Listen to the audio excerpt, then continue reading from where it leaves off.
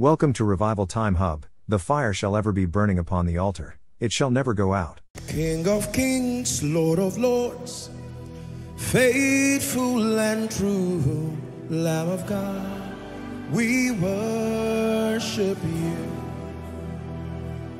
King of kings, Lord of lords, faithful and true, Lamb of God, we worship you. Lift your hands and worship him. King of kings, Lord of lords, faithful and true, Lamb of God, we worship you. You're the Lamb of God, we worship you. You're the Lamb of God, we worship you. One more time. You're the Lamb of God. We worship you. Lamb of God. We worship you. Father, give me an encounter tonight. Lift your voice and pray. You've heard what God is doing in the life of others. It is my turn by faith. It is my turn by your mercy to testify, to sing the songs of praise and songs of victory. Someone is praying.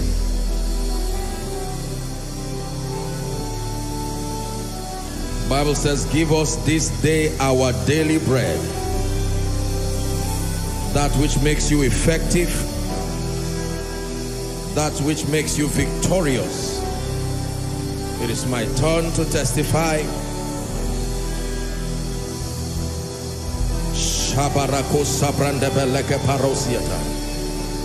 Take a minute to connect by faith tonight. Lamb of God, we worship you. Lamb of God, we worship you. From the rising of the sun right on till it's going down, I will sing of the glory of the Lord. I will sing of the favor of the Lord. I will sing of the power of the Lord. I will sing of the goodness of the Lord. I will sing of the wisdom of the Lord. Father, give me an encounter tonight. Let there be an evidence in my life and through my life that I met you. Let there be an evidence that I have experienced your faithfulness, that I've experienced your mercy, that I've experienced your grace. That I've experienced your wonder walking power.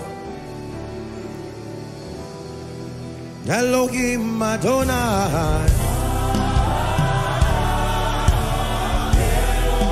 Elohim Adonai. Hey.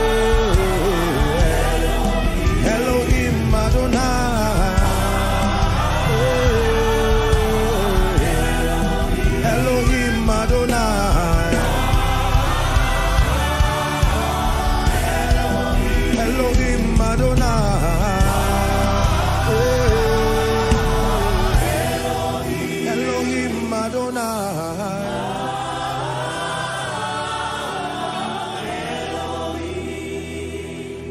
Let the weight of your glory fall. Let it cover all the earth. Let the weight of your glory fall. Let it cover. Let the weight of your glory fall.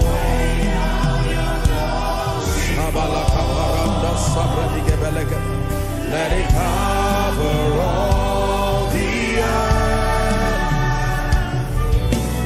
earth.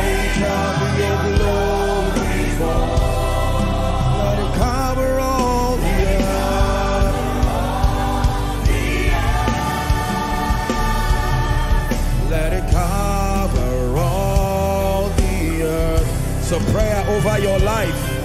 Let it cover all the earth. Let it cover all the earth. Let it cover all. Let the weight of your glory fall. Shabaranta sabragabalege barato sabredemelegeba. Let it cover the earth. Let the weight of your glory fall. Let it cover all the earth. Let your kingdom come. This is our prayer tonight. Let your kingdom come over our lives. Let your kingdom reign. Let your kingdom reign.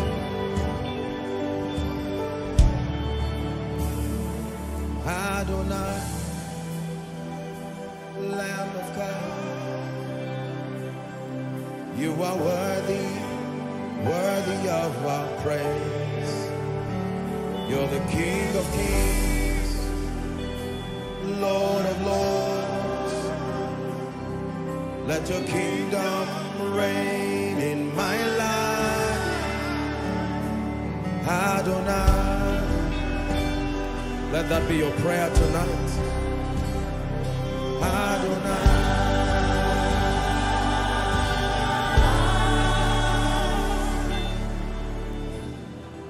Thank you, Jesus. Always doing good, always lifting men, always transforming our understanding, always empowering your people, always giving them a reason to be joyful, a reason to advance. We thank you and we bless you and we honor you and we worship you tonight. Let the nations know that we love you. Let the nations know that your wisdom is an advantage in the world of men. Let the nations know you are a good God. Let the nations know you are exalted. Thank you, Father, for tonight. Let the entrance of your word indeed give light. Let it give understanding to the simple. Lift us by your word. Adjust our understanding. Correct us, rebuild us, prune us, empower us, reposition us for excelling victorious Christian lives. We vow to give you the glory. We vow to give you the glory. For in the majestic and wonderful name of Jesus we have worship. Shout a believing amen. Hallelujah. Please be seated. God bless you. Good evening, everybody. Hallelujah. This is Koinonia. You're most welcome in the mighty name of Jesus. For all who are connecting across the globe, thank you for being part of our worship tonight. The Lord will do you good in Jesus' name. And then for all our guests who have come from far and near, you are most welcome. This will be one encounter that you will speak of for many days and many years to come in Jesus' name. Amen and amen. We're honored tonight to have in our presence Mr. Ola Olukoyede, the chairman of EFCC. Give him a big, big, big God bless you. EFCC, make sure you clap. Are you clapping? Hallelujah. God bless you, sir. Really honor you. Thank you. EFCC is the Economic and Financial Crimes Commission. Thank you very much, sir. Honor to have you in our midst. In the name of Jesus Christ. I want to start tonight by speaking over your life. In the name of Jesus Christ, whatever is required for your rising in this season, I call upon the God of heaven. May he make it available for you. May he make it available for you. The wisdom needed, let it be yours. The help needed, let it be yours. The access needed, let it be yours. The influence needed, let it be yours. The grace needed, let it be yours. The courage needed, let it be yours. In the name of Jesus, every force that keeps you down goes down for your sake. Every force attempting to keep you down goes down for your sake. In the name of Jesus, I prophesy over your life. Go forward. Go forward. Make progress. Go forward. Make progress. I say it again. Go forward. Make progress. Shame and reproach is far from your life. Stagnation is far from your life. Let it be clear that the hand of God is upon you. Let it be clear that the wisdom of God is upon you. Let it be clear that the favor of God is upon you. Let it be clear that you have become Beulah and Hephzibah. In the name of Jesus, men will look at your life and they will learn God. They will look at your life and they will desire to know Him. They will look at your life and turn away from evil. They will look at your life and press for righteousness. They will look at your life and love the things of God in the name of Jesus. Tonight, receive beauty for ashes. I say it again, receive beauty for ashes. In the name of Jesus, the garment of praise for the spirit of heaviness. You will be called the oaks of righteousness, the planting of the Lord, that he would be glorified through your life. May strangers feed your flock. Gentiles come to the brightness of your rising, even their kings to the brightness of your rising.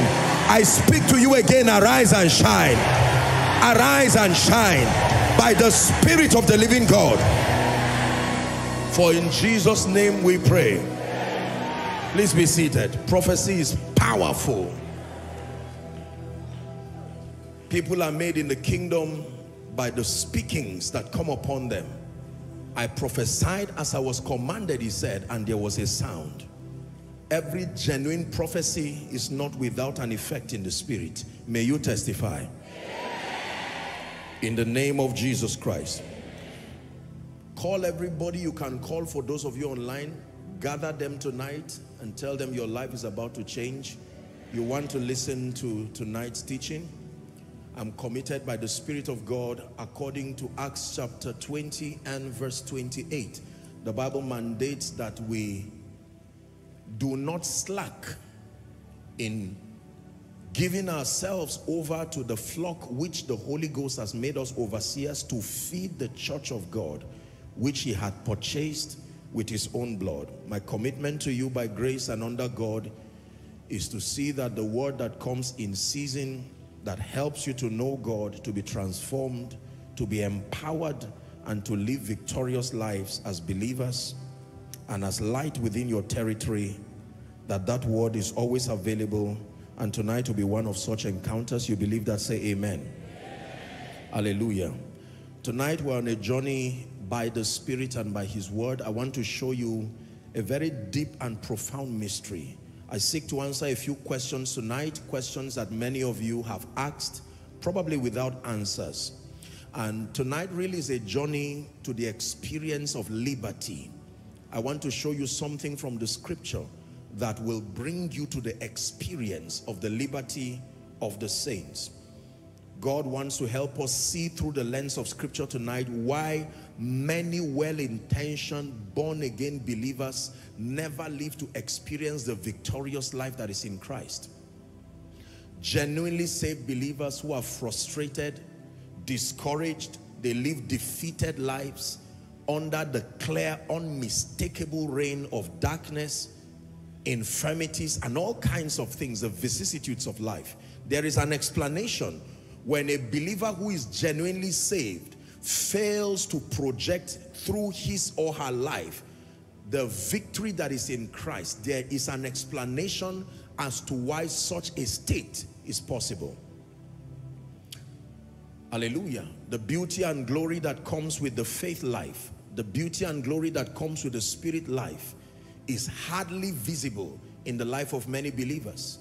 And this has misrepresented God in many degrees. So we have professing Christians, genuinely saved for many, but their lives is hardly a reflection of the glory of God. And it is difficult for men to desire to know God, to learn Him, to love Him, and to serve Him. If your life were the only vista through which people would see and know God, many people will turn away from the God of the Bible because your life for many believers has failed to become a picture that attracts people to Jesus. I'm teaching tonight on the ministry of light. The ministry of light. We'll look at a few scriptures very quickly as God grants us grace. First, John 8 32. This is Jesus speaking. And he makes a very profound statement. John 8 and verse 32. He says, And ye shall know the truth, and the truth shall make you free. Hallelujah. Now, I will talk a bit more on this, but up front to explain something to you. There are two components to this statement. The second component is not your responsibility. The second component is sustained by God's integrity. But the first component is your responsibility. He says, and ye shall know the truth. And if it is the truth indeed that you know, are we together? Programmed within that truth is the power to bring you liberty. Second scripture, Hosea chapter 4 and verse 6. I'd like you to shout the first two words that you see. Ready? One, two, read. One more time. One more time. He never said those who are alienated from me. He never said those who are under the sway of the devil. It's interesting that God speaking by the prophet starts by owning up to the fact that these are my people. I'm not ashamed to call them my people. Regardless their state, they are still my people. The prodigal son met his son in the rot and the debt that his life, he still called him my son. And the son still called him my father. But that did not change the state of the boy. It didn't change the fact that he was already feeding with swine, probably unhealthy, defeated and weak. And yet he called the father my father. The father identified him even in that state as a son. So it was not a question of whether he was son or whether he was father. It was that there was a tragic situation. And he says, my people. Let's finish that scripture. Even though they are my people. Are you ready for the next two words now? Are destroyed. Ready? One, to go.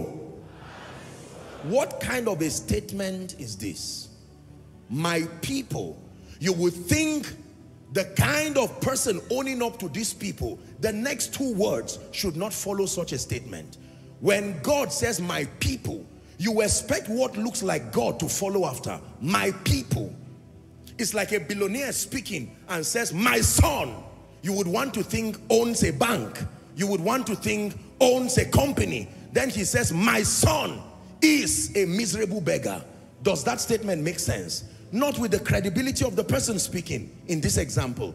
So he says, my people, and you would think what will follow that statement is are greatly favored. My people representing me in power and wisdom.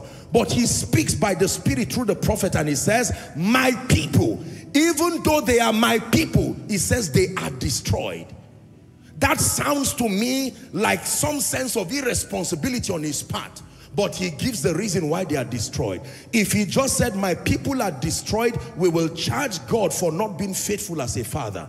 But he gives the reason. They are my people. I do not want them destroyed. I do not want them defeated. It is not in my plan for them. My character negates my children being in that state. He says, but they are still destroyed in spite of my fatherhood, in spite of the fact that I am an epitome of love, they are destroyed. And he gives the reason. Let's finish the scripture. He says, for the lack of knowledge, for the lack of knowledge. It is amazing that Satan is not mentioned as the primary reason for their state or destruction. It just says for the lack of knowledge. He further says, because thou hast rejected. That means it was offered. You cannot reject what was not offered. Am I right on that? If I offer you some meal or refreshment and you say, no, thank you. It was offered, but you rejected it, even if to your detriment. So here he explains for us something very profound. That number one, they are my people. But number two, their current state is that they perpetually live in destruction. And he says the reason is because of lack of knowledge. And just before you question God and say, but they don't have the capacity to know by themselves, he says, because you have rejected knowledge. That means at some point, knowledge came to you. It came through men, it came through vessels, and you, of your own accord, you rejected knowledge. Are you ready for the third scripture? Thank you, Jesus. Many have rejected knowledge to their detriment. Ephesians 4 18. Having the understanding darkened. Whose understanding? The understanding of the believer. His understanding is darkened. What is darkness? The absence of light. Because the Bible says that which makes manifest is light. Then it says, as a result of that state, so the believer is saved, born again, but there is a condition and that there are consequences to being in that condition. The consequence is that you are alienated from the life of God. You know what that means? You are robbed off from seeing the potential that is in that life. It is through the ignorance that is in them because of the blindness of their hearts. Now, let me tell you the truth. The ratio of Christians and churchgoers who are frustrated, oppressed, discouraged, seems to me to outweigh the ratio of believers who are walking in the experience of victory. That if you take a statistical sample of people within church generally with no biases and you actually gauge them as touching the matters of victory and a life of meaning, you are going to find out that for the most part, the believers, faithfuls, churchgoers, something seems to be wrong that the ratio of those walking in the experience of the victory that this divine life proposes is by far, by far, it outweighs those who are genuinely walking in the experience of that victory. The Bible is very clear as to the fact that the thief, John 10, 10, that he cometh not but for to steal, to kill and to destroy. Jesus said, I am come. Do you see that his ministry is beyond giving salvation? The word salvation comes from the word salvage, deliverance from a state from destruction. What Jesus came to give us was beyond just deliverance from sin and Satan. He said, I am come that ye may have, beginning from the standpoint of salvation, but that ye may have life, he says, and that that life should be in abundance. Amplified will say in its fullest or in its fullness. So many believers are unable to experience the liberty that is in Christ.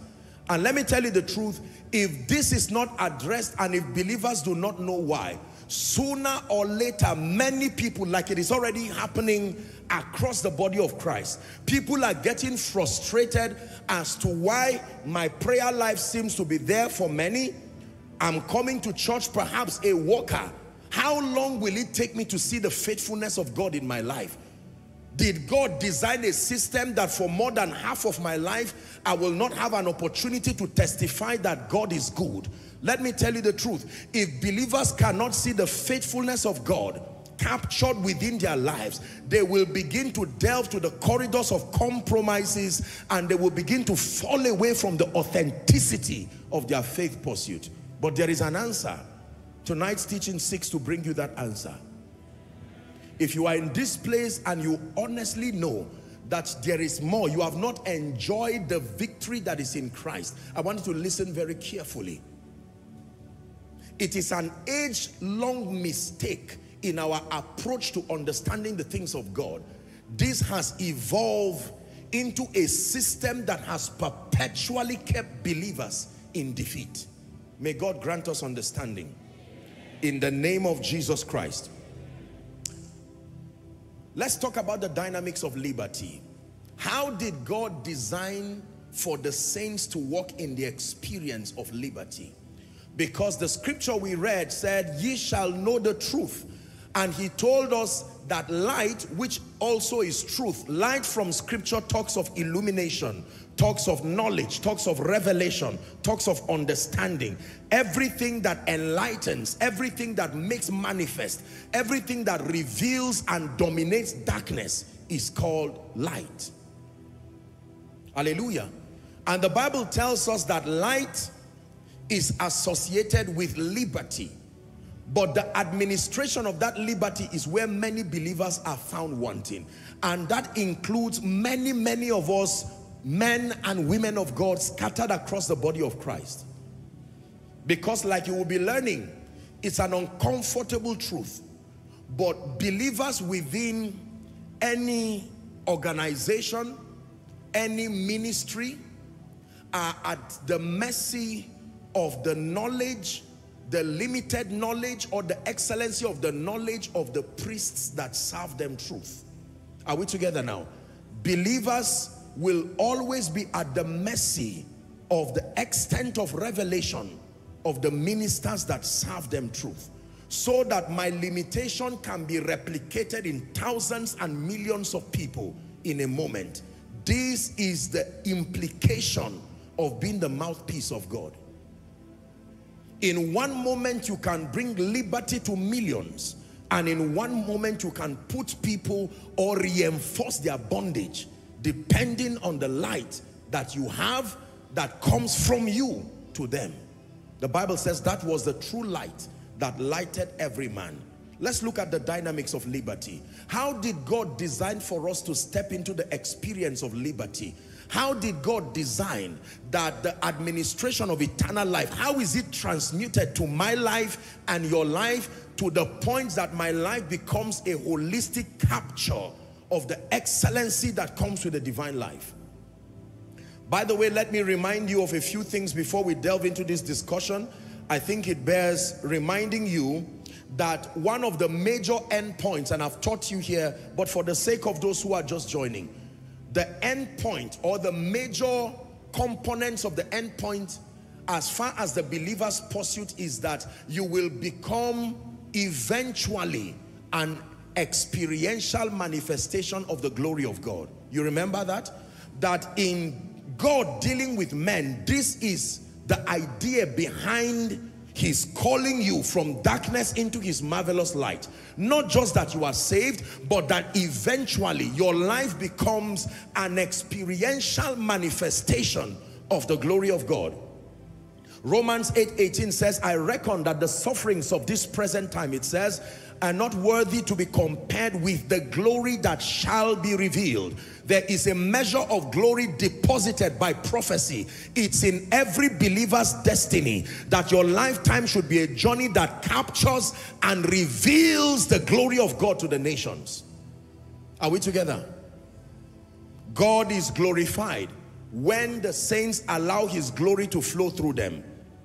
It says, herein is our Father glorified, John 15 and verse 8, when ye bear much fruit, so shall you be my disciples. John 15, 16, you have not chosen me, but I have chosen you and ordained you that you should go, go, not just go and roam around, go and bear fruit, and that your fruit should remain.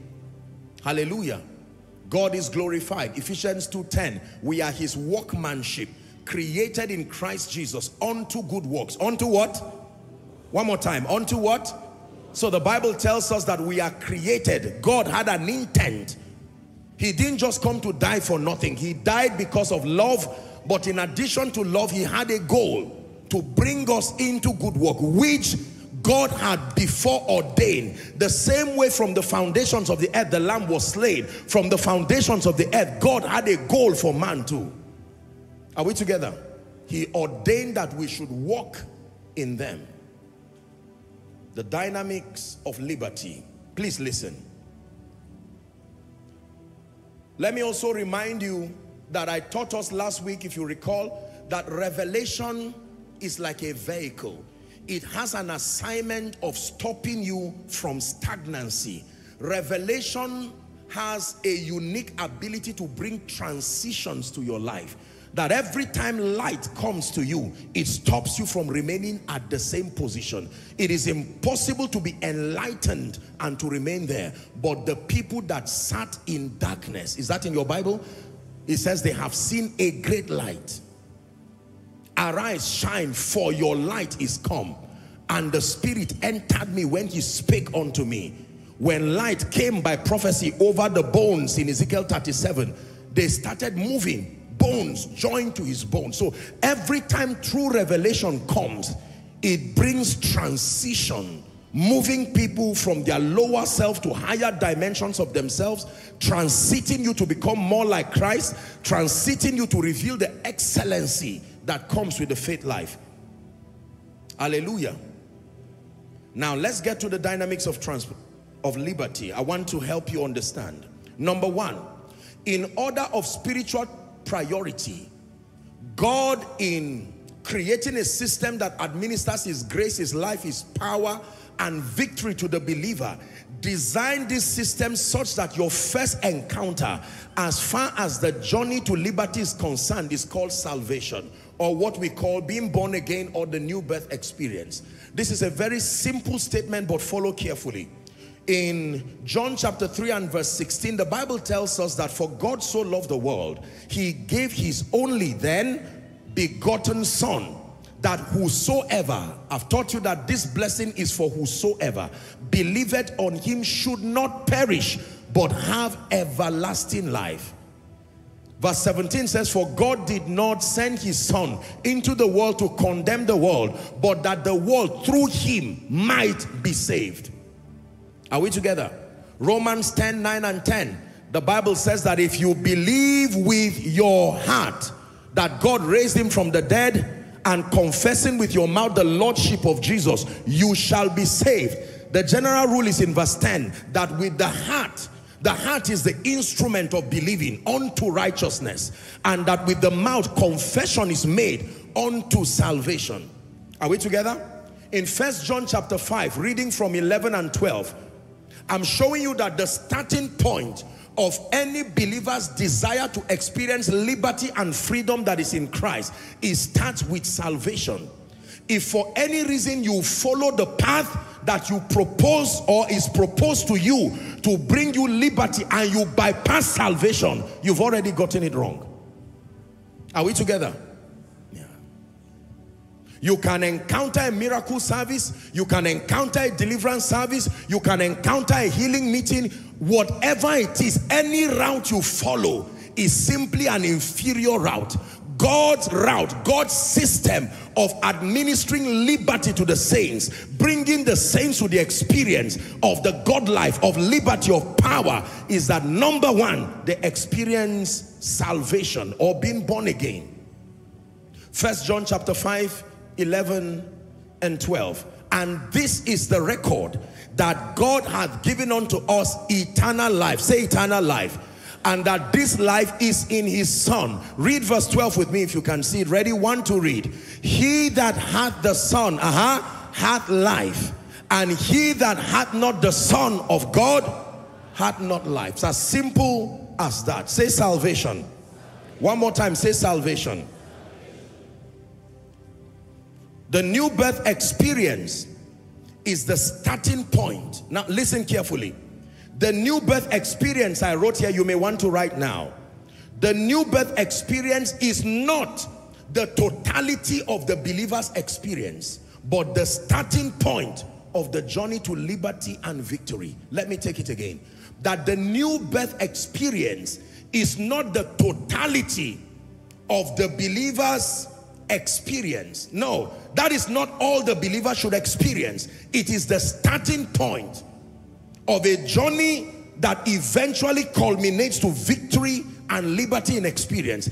Just not knowing this alone will keep you defeated forever, even when you are saved.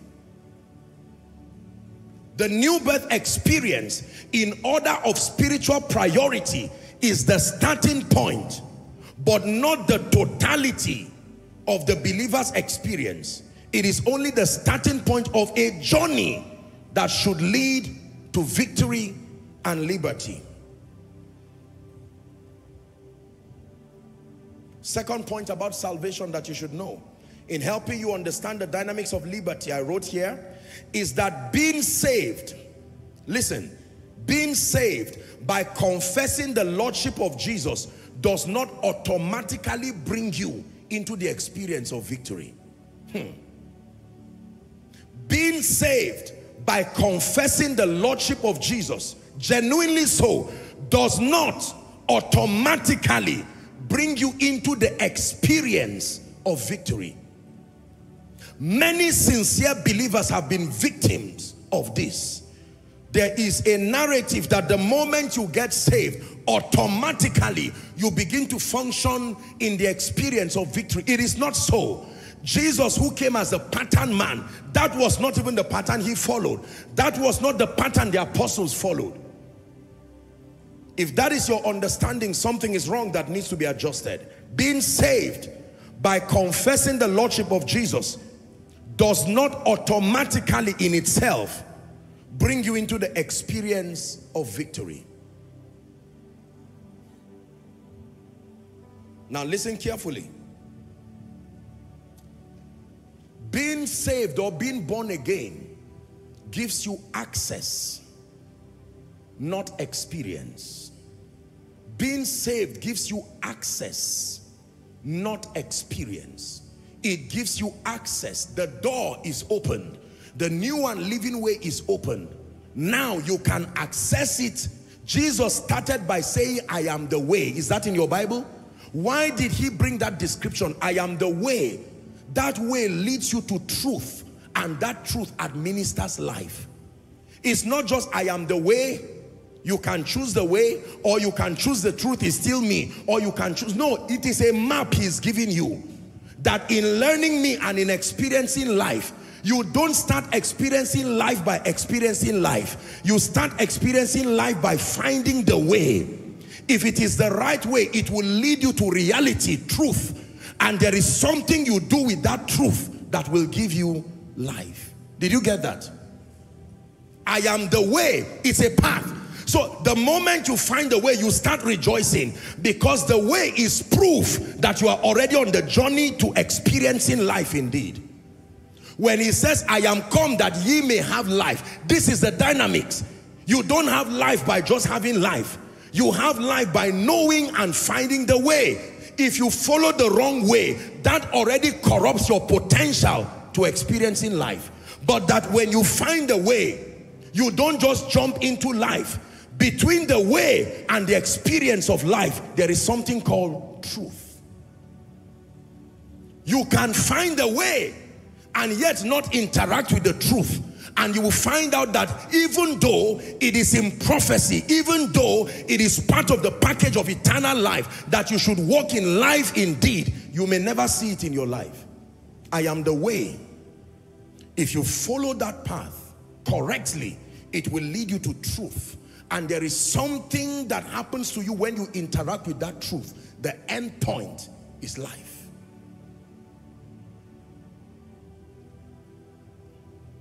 So salvation grants you access.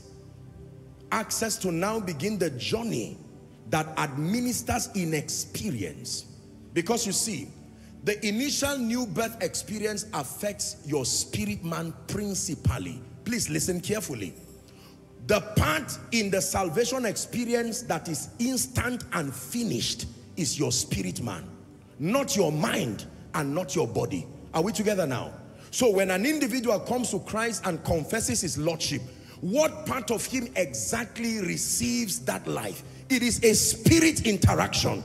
That is why, with all due respect, the person can be as foolish as he came to the altar and return back and still act foolishly, even though he received Jesus. Are we together now? Yeah. The person can have struggles while on stage and go back and you'll be surprised. Now, potentially, he has come into the way and he has received a deposit of that life in his spirit man. But he does not need it there. It needs to be lived out in the physical realm. And that there is a protocol there is a rule of engagement that translates the reality of that life such that tomorrow you can see the one saved person and know that this person has become a child of God. The effulgence of eternal life has spilled over from his spirit man. Now his body, his life, his condition becomes a testament that he has met Jesus.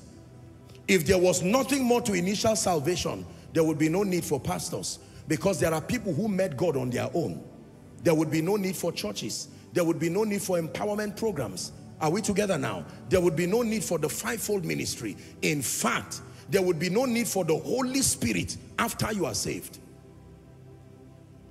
Why did God so design it that it is even after you are saved, you receive the Holy Spirit? It means it is a journey and that that journey you cannot go on your own. That is the reason why the moment you are saved, the Holy Spirit comes to help you and begins that journey. And God plants you under a teaching ministry that now begins to build you. He says, this is life eternal, John 17, 3, that they may know, not just that they may receive, that they may know thee, the only true God, and Jesus, whom thou hast sent. If you're with me, say amen. amen. So we're discussing the ministry of light and under this we're looking at the dynamics of liberty. And I said number one liberty starts with having this encounter with Jesus. God's intent for the believer was not just salvation from sin and Satan. Please listen to this. God's intent for the believer was not just salvation from sin and Satan, but an opportunity to live in victory while serving his purposes. That means when the believer becomes saved, that is not all God's goal for him. It is the starting point. Are we together? God's goal for the believer or intent for the believer was not just salvation from sin and Satan, but that after salvation from sin and Satan, that believer comes into a point of victory living and enjoying victory that comes with the divine life while serving the purposes of the kingdom.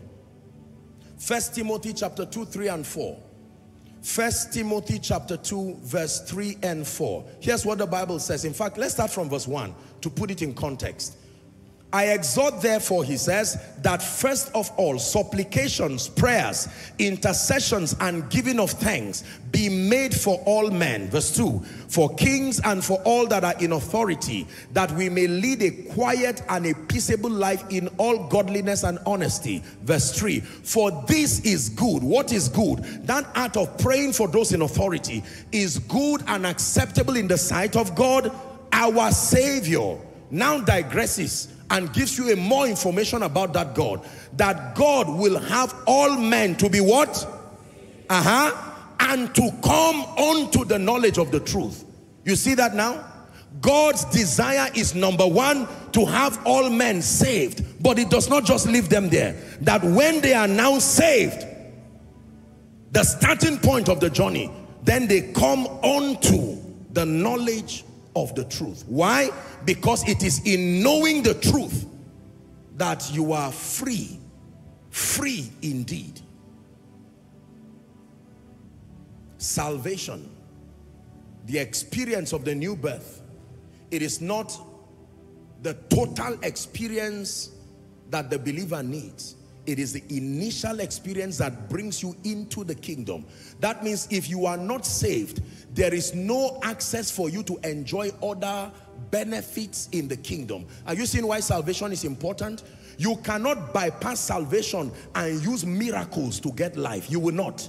Because everybody Jesus saved before he died, are we together? Everybody that Jesus healed before he died was not saved. They still died. Everybody that Jesus delivered before he died, there was no possibility of receiving eternal life before Jesus died. But there was a possibility of healing, multiplying bread. Every miracle you seek to happen in your life already happened to men before they received Jesus. So if you just use miracles and signs and wonders as a replacement for salvation, that is already a mistake that when you want people to become a manifestation of God's glory, look up please, you will have to give them more than a healing. You will have to give them more than deliverance from demon spirits. Because even if you cast out those demon spirits and they are not saved, the demon spirits have a legitimate access to still return to that body. Legitimate. Are we together? If you prophesy over people and they get jobs. That is wonderful. But those jobs, they are still under the influence of the systems and the structures of life. They've not been elevated by the blessings that come with salvation. Salvation is very important. Every believer intending to be like God in experience and to experience the liberty that is in Christ, the first port of call. That means, listen, look at me.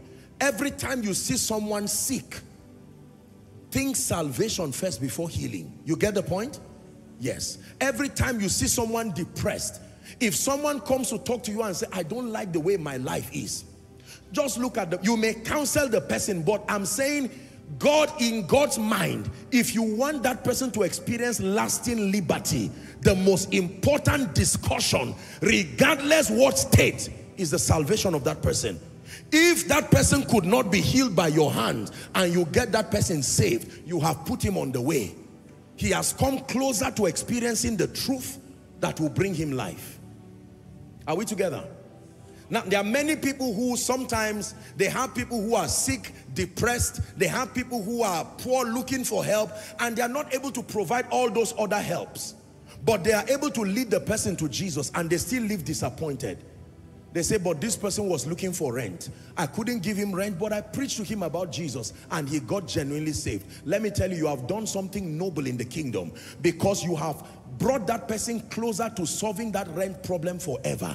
Because with the way will come access to the truth. You see that now? And if it is truth indeed, eventually he will experience life and life in all its ramification, which includes being prosperous. Let's go to the next point. Dynamics of liberty. So number one is salvation. But I told you that salvation by confessing the Lordship of Jesus does not automatically bring you into the experience of victory. Please listen to that. It is rather concerned with giving you access. The second aspect of walking in the experience of liberty is called knowing the truth. Hmm. knowing the truth. Knowing the truth, my God. That means in addition to receiving life from the Savior, you need to know the truth. You have met the Savior, but you need to know the truth that he brings. If you do not know the truth that came with the Savior, you will remain defeated even though you genuinely met the Savior. What is knowing the truth? It describes the whole process from accessing light to being transformed by it. When the Bible talks about knowing the truth, it's a holistic capture of the entire process from accessing light after you are saved to being transformed by it. Ye shall know the truth, and the truth that you know shall set you free. The word know there is beyond just awareness. He's not just saying you will be aware of an information that is correct. That is, no, no, no, no, no, no. No. You can be aware of an information and it profits you nothing. So when the Bible talks of knowing the truth, it's a deeper statement than English just gives to us. The idea to the layman is being aware of an information. No. Knowing the truth is a, is a journey on its own. A journey from accessing that light, that truth, until you become transformed by it. Knowing the truth requires three steps. Let me give them to you. Knowing the truth based on the Bible's idea requires three steps. Number one, access to the truth. Knowing the truth requires number one, access to the truth. The first way you begin your journey to knowing the truth is to even have access to it access to the word, access to the Holy Spirit, access to the ministry of the teaching priest. You see that? These are the three ways by which God communicates truth to us. Number one, his word. Number two, the ministry of the Holy Spirit. Number three, the ministry of the teaching priest. If you ignore the ministry of the word, if you ignore the ministry of the Holy Spirit And if you ignore the ministry of the teaching priest, there is no opportunity for you to access truth again. You will find out that you will be saved, but you will never come into the victory that is in Christ. Let me remind you again, if you are in pursuit of truth, these are the three areas to look at. Number one, the word of God. Sanctify them by thy truth. Thy word is truth. Are we together? The entrance of thy word giveth light and understanding unto the simple. Number two, the Holy Spirit. He's called the Spirit of truth. When he, the Spirit of truth, is come, he shall guide you into all truth. That is John 16 from verse 13. He shall guide you. He's called the spirit of truth. That means his advocacy is that of truth. You can trust his ministry. The spirit of truth. And then number three, the teaching priest. Jeremiah chapter 3 and verse 15. And I will give you pastors or shepherds according to my heart. And if they are pastors or shepherds indeed, they will feed you with knowledge and understanding. The Ethiopian eunuch was reading and he did not understand and God brought Philip to him and he said, please tell me, who is this man talking about, himself or another? And he began to expatiate and expound the truth for him. And it was on account of the ministry of the teaching priest that he got saved on his chariot and highlighted when he saw a pool and said, there is water here. Nothing stops me from being baptized. And as soon as he was baptized, the Spirit of God took Philip truth. There are many believers who want to grow, but they do not know where to search for growth. The word of God, the ministry of the Holy Spirit, and the ministry of the teaching priest. Let me tell you the truth. When God really wants to help you, he grants you access to a man of God that he has given the grace for light. Woe betides a believer who does not have the privilege of sitting under the mentorship of a teaching priest. I tell you, your Christian journey will be a cycle of pain. Pain that will make you distrust God. You will wonder and say, is this, what I'm reading in the Bible, is it real? You see, most of us men of God do not understand the reason why the Bible says we will be judged. Because the privilege of priesthood is God giving you access, literally, access to the destinies of men. You are walking representing God to mold and make or break and destroy the destinies of men. And that comes by the quality or otherwise of the spiritual information that is given to them. What you are learning from here week in, week out, that is what is shaping your understanding onto a life of victory or onto a life of defeat. Are you seeing that now? It is a risk to submit yourself, submit your mind, submit your understanding. And then for families that are here, you imagine a man and his wife and the three children. These are the three boys that represent the future of that family.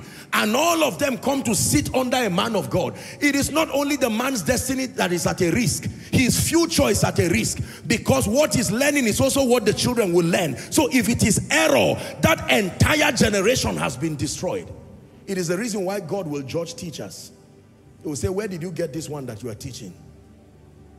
You got this one because you are hungry and you went to the extent of deceiving people. You got the money, but you destroyed destinies. The prophet that should emerge did not emerge. You hid the truth. You were afraid of being criticized and you did not say this. You didn't say that. Hallelujah. You see the reason why the work of priesthood is not a vocation. It's not something you look at just when you are hungry and you say, well, I applied for civil defense, my name didn't come out. I applied for um, immigration, my name didn't come out. Well, I, there's at least, I hear that pastors get money, free money from people. Let me try ministry and see. That corrupted motive alone if God brings people to you, you would destroy their destiny. And because Africa is a very religious continent, you see that now? When you go to school, there is a date for graduation and you leave that school. But when you are under a spiritual structure, you are usually there for the rest of your life. Are we together now? Yes. If you receive error for any reason in school, it can be corrected. At least you've stopped going there. But once you are on, there are people who are in church, they started coming to church when they are 10 years. Now they are 50, 60 years. Your destiny will be at the mercy of the correctness or otherwise of the truth you have received. And I want you to pay attention to what I want to share with you now. Access to the truth starts by access to the word, access to the ministry of the Holy Spirit, and access to a teaching priest. A teaching priest. Doesn't matter what form or fashion it comes, a teaching priest. What makes a teaching priest a teaching priest is beyond a good heart. You can be a sincere man of God, but not be a teaching priest. If you are not a teaching priest, don't teach. Do what is within the jurisdiction of your grace. Are we together now? To teach means to bring people into a comprehension of a truth. And there is a grace for that. It is not just something you decide. A teaching priest is more than brain work is the product of the spirit of revelation granting you access to doctrine, granting you access to principles and the ways of God in an unusual way for the sake of the people sent to you. So the excellency of the preaching, uh, teaching priest is beyond his study life. Is beyond his level of intelligence. All those things are enhancers. The grace for the teaching ministry is an endowment from God. If you don't have it, no matter how you do, it will be clear that this grace is not on you. You would destroy people. Let me tell you the truth. If you have the grace of a teaching priest, God can walk through your limitations, even linguistic limitations. And you will see that even though you may not be as articulate, but because of the spirit that flows through your words, the people will understand what you intended to say and it will not deceive them. That is the difference between oratory and utterance. When God grants you utterance to speak his counsel, both the learned and unlearned will eventually understand you. They can pick the spirit communications from what you are saying. And even though you are limited, I'm not saying you should not train yourself. When you have utterance and oratory, it's a beautiful combo that helps you to articulate truth with clarity and precision but that even if you are limited physically when the spirit of revelation is upon you and God has given you the mandate of a teaching priest you will be surprised that no matter how simple or complicated you are the spirit of God can move through your frailty and insist that the people understand you. Are we learning? Access to truth. The second layer to knowing the truth is to hear and receive the truth. You can have access, ladies and gentlemen, but not hear and receive. I'll give you an example of those who had that. The scribes and the Pharisees had access to truth. Their issue was never access. They were in almost all of Jesus's crusades, but they did not hear and they did not receive. While Jesus was preaching, they were just looking for where to get trouble, where to pin him down. One time they met Jesus sitting, maybe preparing, meditating, preparing, and they brought up all kinds of issues. Issues of the, uh, you know, the woman who was caught in adultery, the woman who was, um, uh, um, you know, uh, the, the gentleman who was about to be healed that he said, your sins are forgiven. Ah, that became, he said, who are you to forgive sins? And they brought up another issue and they would never listen to the truth. It was Nicodemus, one among them, that listened carefully and said, no, this what this man is saying and he smuggled himself and came to him by night. John 3 rabbi we know that thou art a teacher sent from God for no man can do these miracles that thou doest except God be with him. And that discussion is what led to John chapter 3 down to 16 17 many people have access to light but many people are not intentional about hearing and receiving do you know people come to church like this and you will be surprised the many things that happen while the word is coming. Destiny defining truths, light from heaven through his vessel. God comes to men through men. He saw the captivity of Israel and he said, I am come down. And that happened through the man, Moses. So God ministers to men through men. I have commanded a widow to feed you But when Elijah met the widow, he said, I can't remember any command. When was she commanded? When the prophet said, go and make me this. That was God speaking to her through him. God speaks to men through men, primarily. So people get distracted, for instance, in church.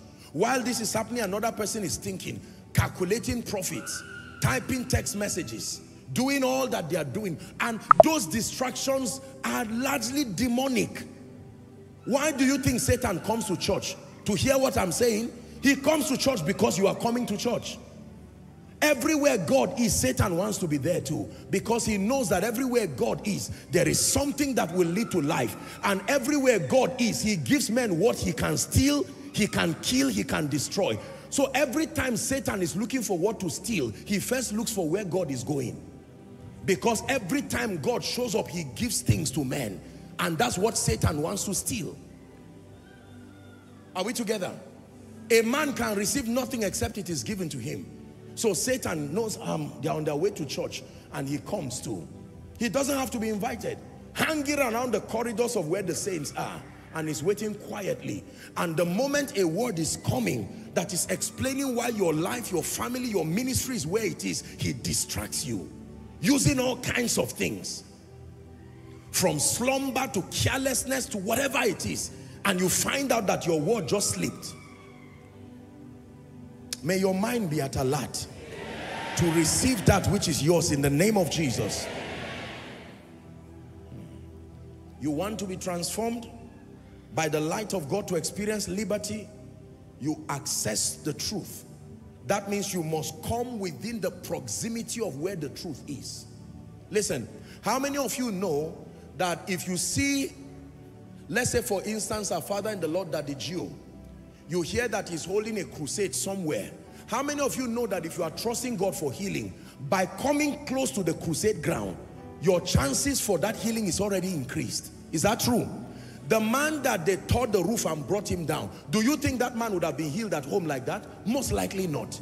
Even the one who was healed at home, there was someone who came near Jesus to plead for him. Proximity to where God is walking is proof that you will encounter that God. Did you hear what I said? This is why it is important for believers to not miss the gathering of the saints. Proximity, proximity, proximity, proximity.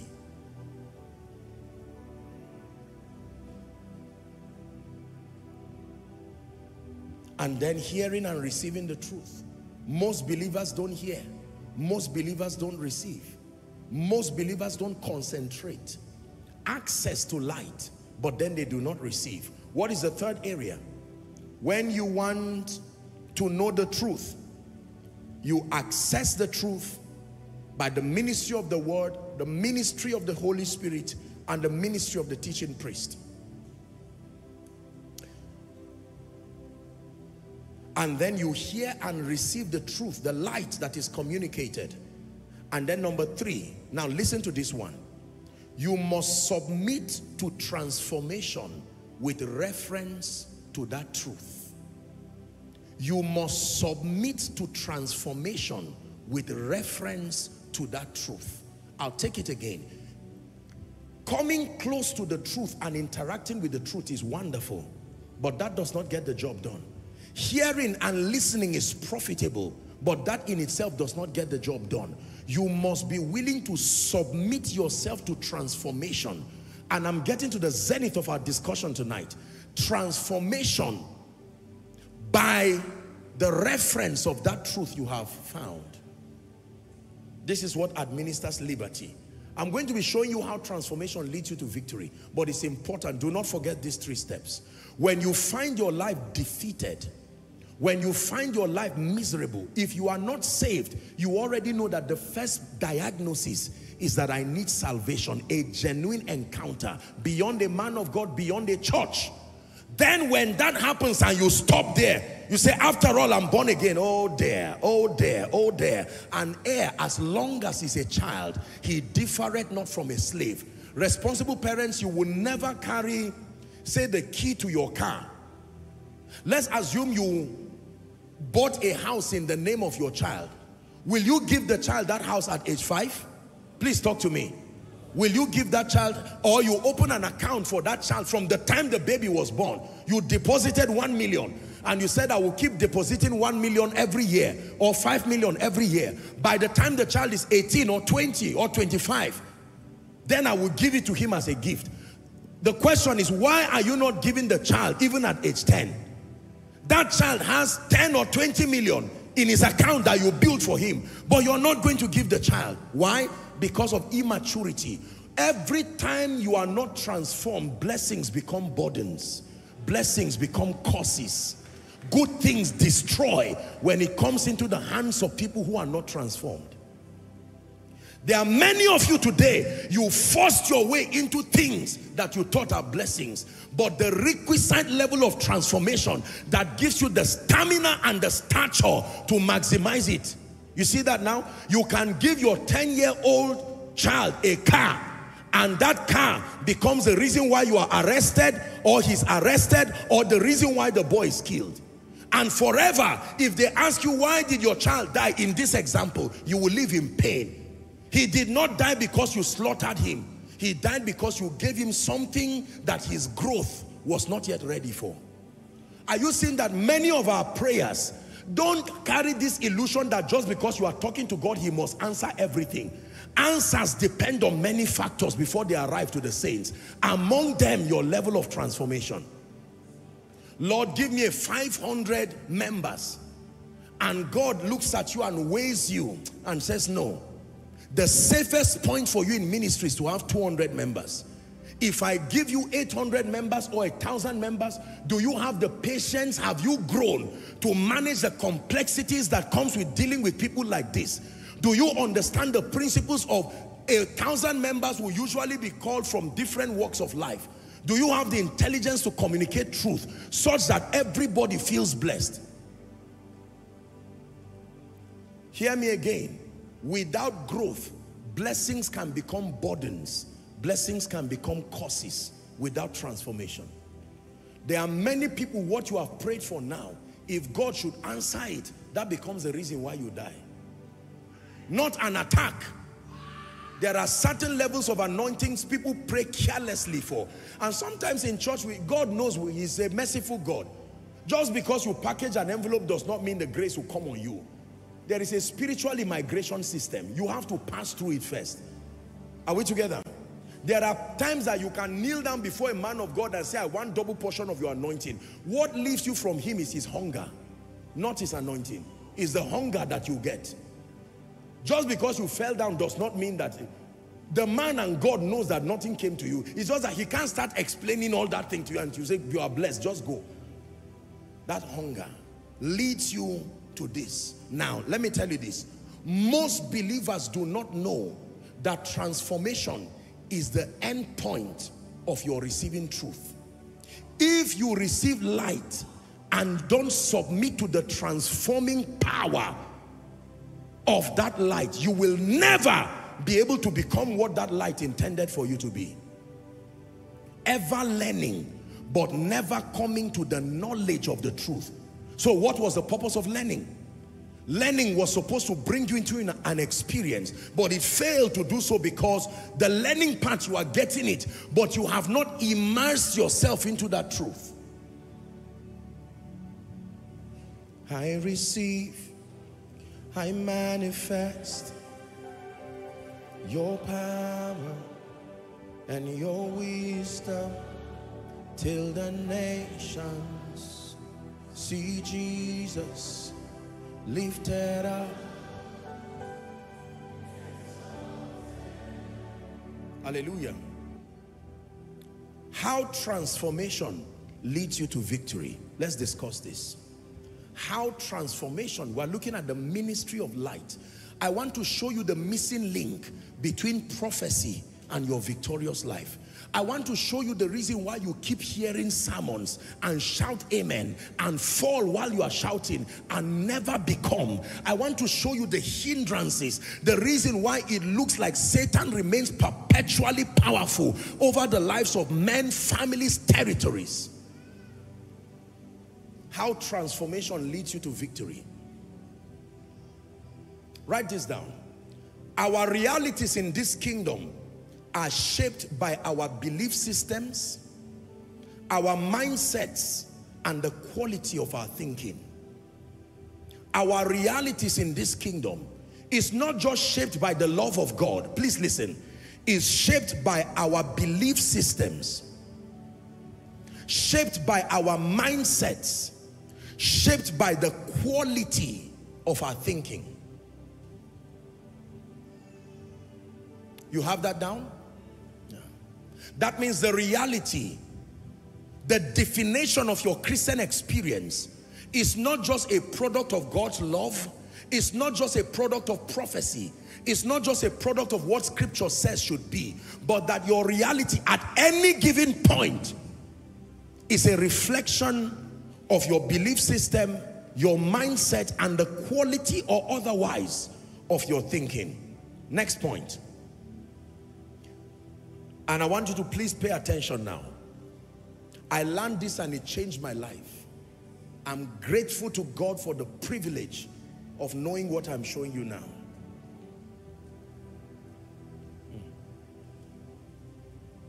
How do you know a man is not transformed? Let me just say that.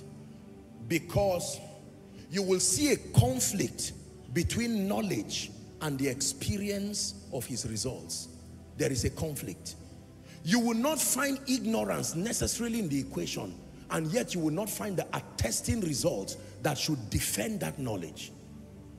Whenever you see people who are knowledgeable and after a long period of time, you cannot find the results that attest to knowledge.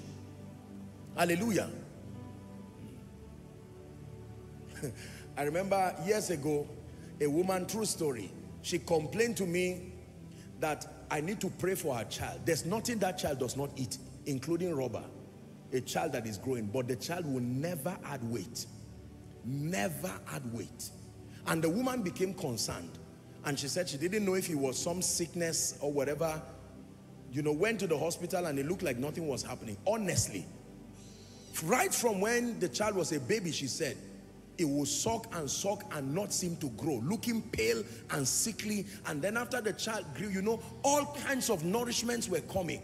That immediately, you don't need to be a doctor to know that something is wrong with that child. But by the time the child is say two, three years, he's still looking pale and sickly as if he's months old. Why is that so? Because the investments that support growth that the child is receiving is not producing the corresponding results. Are you getting that now? So by the time a believer, just like this example, you claim to be receiving truth, to be receiving light, light that brings liberty, truth that brings liberty, but eventually no area of your life can speak the glory of God. It's a sign that the missing link is not necessarily information. It might be information or the quality and the kind of information, but it's that you've not submitted yourself to be transformed by it. How transformation leads to victory. I said the quality of our lives in this kingdom are shaped by our belief systems, our mindsets, and the quality of our thinking. Write this down. The information that is stored in our minds are in layers. The information that is stored in your mind, huh? whether spiritual information or otherwise, just know that the information that is stored in your mind is in layers and that they exert different levels of power and influence over our lives and our outcomes. The information that is stored in our minds are in layers. That means they don't hold the same strength as far as the influence that they command on our lives and they exert different levels of power over our lives and over our outcomes. The average person has different kinds of information in their minds. And what I'm saying is that all these informations are arranged in your mind in layers and they do not exert the same kind of power over you. There are certain informations that have a greater hold of you than others. Are we together? Yes. Huh? I'm a big boy. That definition of big boy did not come from the dictionary. That definition of big boy came from something social media or society gave him. Am I right on that? And he decided to adopt that definition. Do you think there, there's no small Bible study in that child's brain? There's still Bible study in that child's brain. His John 3.16 of, of Sunday school is still there. It's just that there's no sufficient truth to gain dominance over everything that fights him. Most people do not know that transformation is warfare. A warfare to dethrone thoughts, reasonings, mindsets, information that fight your destiny, that fight your greatness. I'm about to say something very powerful that I want you to listen to. We convert transformation to victory by its empowerment or, or uh, transformation leads to victory and liberty by empowering the saints to make superior destiny advancing choices and decisions. Now listen please. How does transformation by light lead to liberty? This right here that I'm about to teach you is the most important information that brought us here tonight. And I pray for you in the name of Jesus. May your eyes be open. Amen. Say amen. amen. Help us, Holy Spirit. Now listen. Thoughts, mindsets, and belief systems have an energy that they emit. Listen, please. Thoughts, mindsets, and belief systems they exhibit magnetic properties. Hear this again. Thoughts, mindsets, belief systems, reasonings, they have an energy. Every single one of them has an energy that they emit from within you to your environment. They exhibit magnetic properties. They attract to your life. Listen, people, they attract to your life conditions they attract to your life circumstances consistent with that belief this is very powerful i want to show you how transformation leads to victory and how lack of it keeps you in defeat that thoughts mindsets information generally they have power there is an energy that comes from them are we together now and that they exhibit magnetic properties that when trouble comes to you and keeps coming to you, you may not believe it, but there is something within you magnetizing trouble. Job said, let me show you a scripture. Job chapter 3 and verse 25. The thing that I greatly feared, that was not the only thing he feared, but the one he greatly feared was the one that came. Did you get that? Job had other fears but the one that was the most dominant fear, read it with me, one to go. For the thing which I greatly feared is come upon me, and that which I was afraid of is come unto me. This is the mystery of deep calling unto deep. That when, and even till today, terrorists use this strategy to attack people, they will send fear and say, we are coming. We are coming. And by the time the people absorb the fear, they become incapacitated before the attack. They will never come until they inflict fear. That was what Goliath was doing. Goliath knew that he would not win an army until he did something to their minds. History is full of people, dictators who have lived and died. They knew this as a formula for victory. That if I can penetrate your mind and plant a picture and enthrone that picture to be higher than anything, even without an attack, you will die. When David came, Goliath, do you notice that the first way Goliath started attacking David was through words. As soon as he came, because he would speak to the armies and say, no, these guys are already defeated. The king was afraid. Here was a teenager who stood. And when they began to speak, Goliath said, no, this guy does not sound like the army. Am I a dog that you are coming with me? with this. And he said, well, that's not the issue. Goliath, you come to me with your bows and your spears, but I come to you in a name. While you did not see me, I was not just in the wilderness. There was a mindset.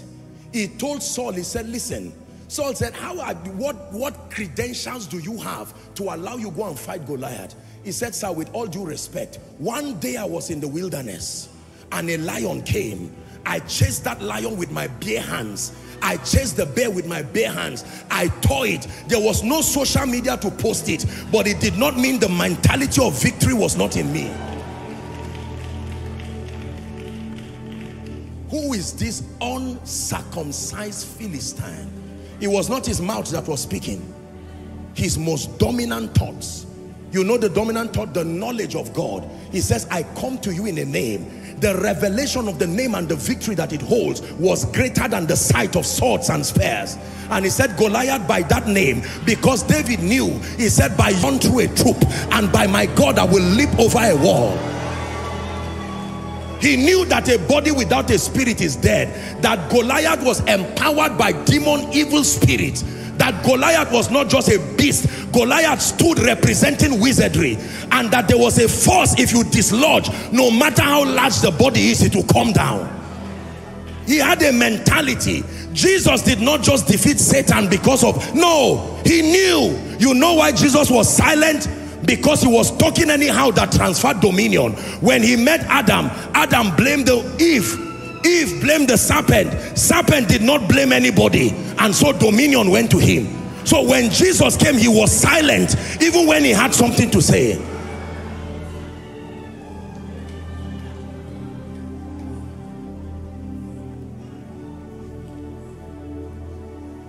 Listen. Please listen to me. Poverty has a mindset if it does not find, it cannot manifest. Wealth has a mindset. If it does not find, it cannot manifest. Curses have a mindset. If they don't find, they cannot manifest. Blessings have a mindset. If they don't find, they cannot manifest. God spoke to Abraham in Genesis 12 Abraham did not have the mindset to make that happen. God had to prime him by using the stars and say, count it. He kept failing. He said, so shall thy seed be. Finally, Abraham believed God.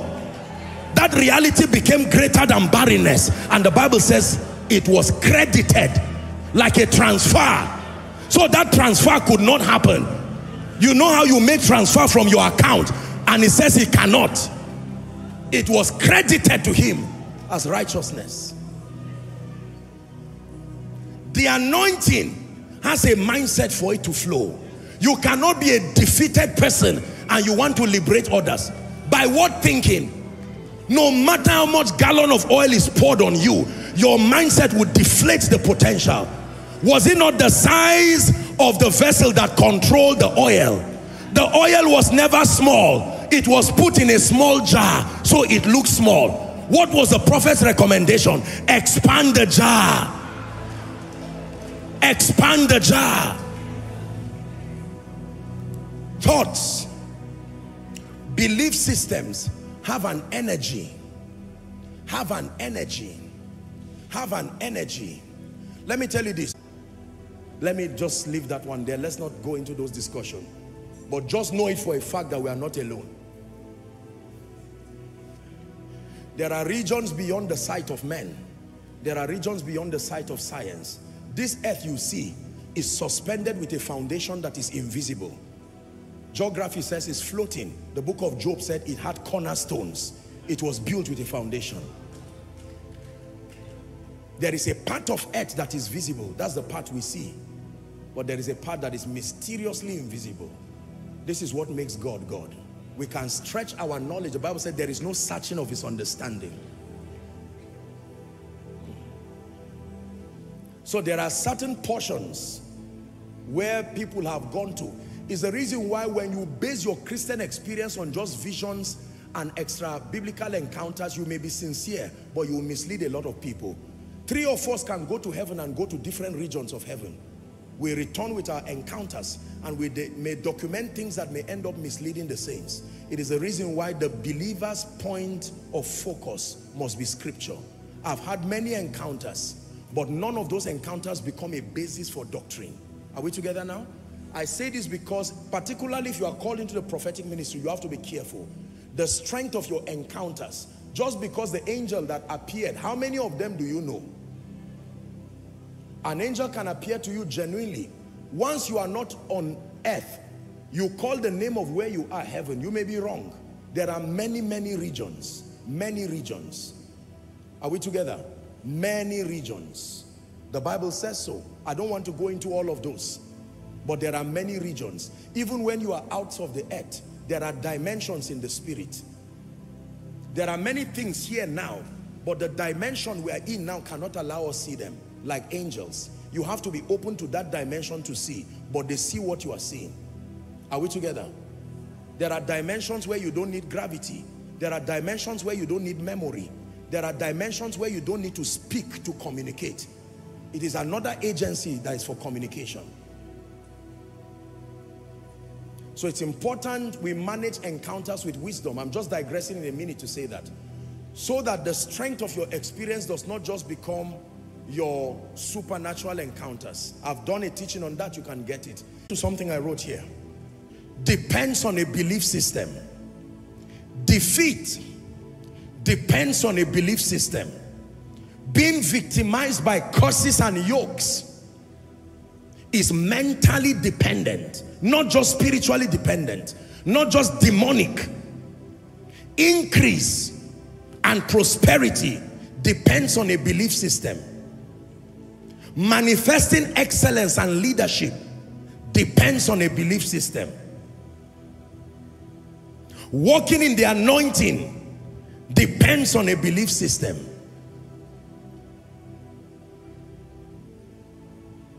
You can be saved and still be a victim of limitations and frustrations. You can be saved. Yes sir. You can be genuinely saved and still be a victim of limitations and frustrations that plagued you before you got saved. That means those things were there and even after you got saved, they did not recognize it. The oppression still remained. And yet you are genuinely born again. Is why many believers doubt their salvation. Once you believe in the name of the Lord genuinely with your heart, you are saved. But because you do not understand the journey beyond salvation, you see that now? That there is a journey beyond salvation. In addition to your being saved the journey the way now then the truth then life. You will find out that at a point you say look i'm just going I'm, I'm, i don't think i'm a child of god. I don't my, this my salvation is not authentic. It is. But it is that the knowledge of god has not been exalted in your mind above every other knowledge. Are we together do you know why you come to church every week? It is that project called transformation.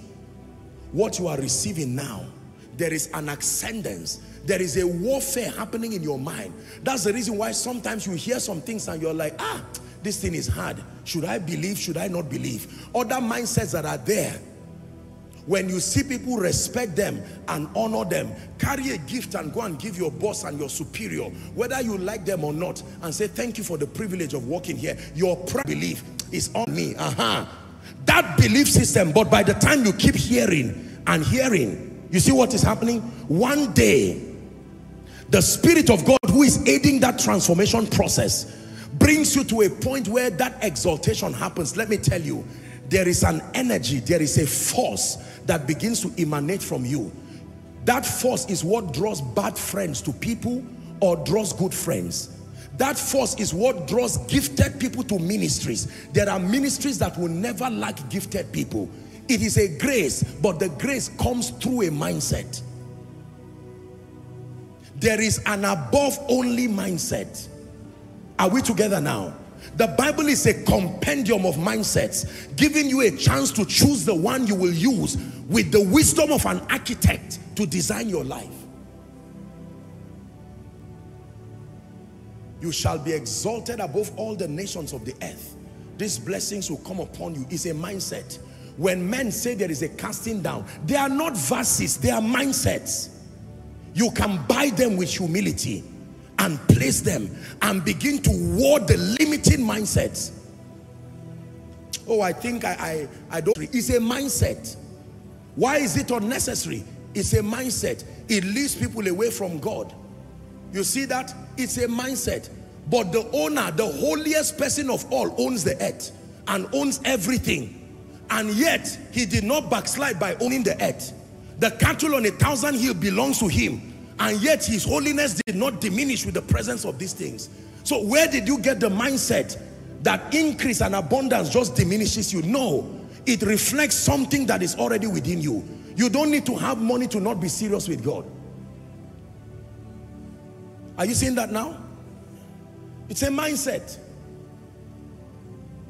Oh, increase does not matter.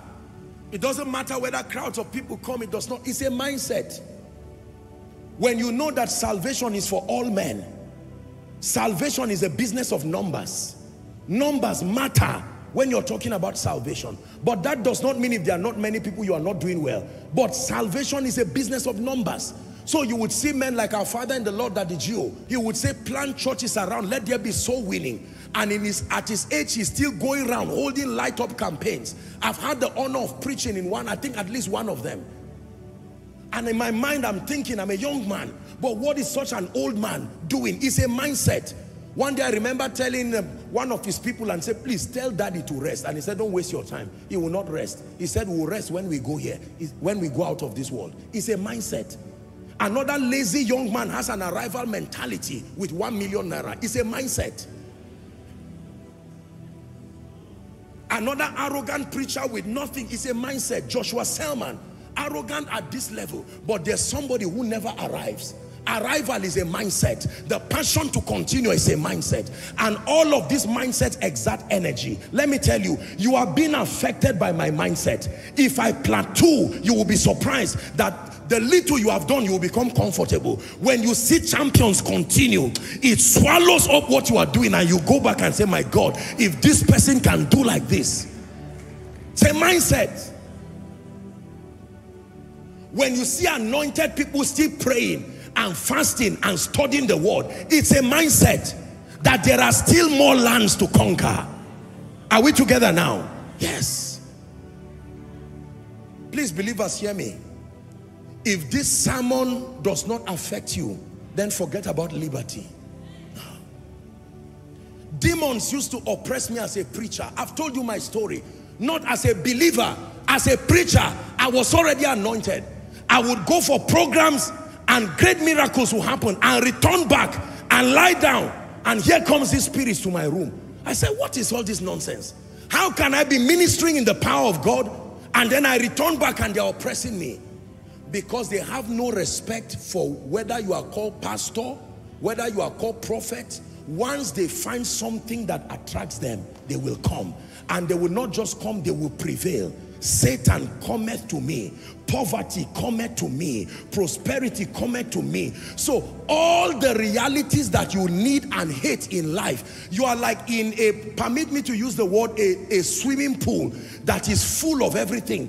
Poverty is flowing around you. Wealth is flowing around you. Increase is flowing around you. But the one that comes to you is the one that finds a component within you that draws it to you. This is the concept of what we know to be familiar spirits. You know why they are familiar? They want certain occurrences to remain in certain lives, in certain territories. So they study the mindset that attracts that trouble and they create a stronghold around it so that everybody from that family thinks that way. Grandfather transfers it to father. So the evil continues.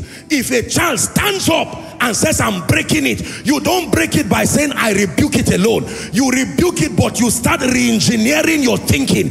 Another kind of energy is now sent to your village. Not me, not me. And the curses will come, but they will not meet someone of that kind of bloodline again because something has been altered.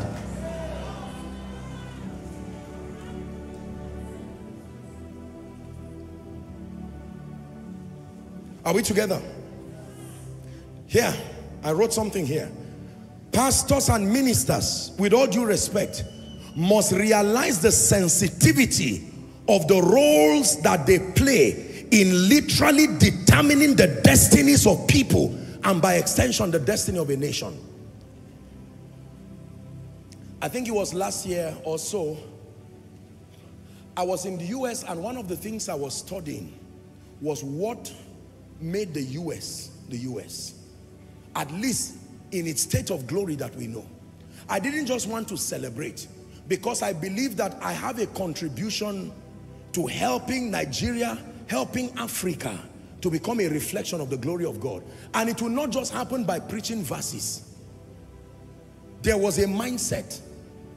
Last I traveled to the US, I had the opportunity to travel and pray where America started. And I had the opportunity to visit the monument of the forefathers. And I saw a few things that were written there. The tenets that were the foundations of America. I said, this is it. This is it. No nation. Please listen to my message, how nations are built. It was an Independence Day message. How nations are built. Their policies. Policies are products of mindsets translated into law. Are we together? If you believe in equality, you believe in excellence, it's a mindset. You will simply articulate it and write it. It becomes part of your constitution. So if Africa is the way we are, the, the problem is not just the troubles that we have around. We have to go back and re-examine the frame, the foundation upon what? Listen, you must have the courage to probe your belief systems. How did we get here? Who believed what that made this kind of nonsense? Are we together? It's important. The difference between a great ministry and a limiting, struggling ministry is not just the will of God. It's the belief system of the leaders. What mindset? Listen, ladies and gentlemen, you did not just come here just by your will. I tell you, I hate to be the one to say this, but there is an energy that is exerted from transformation. And because it is God's principle, he will weigh you and he will bring men that reflect your growth and transformation.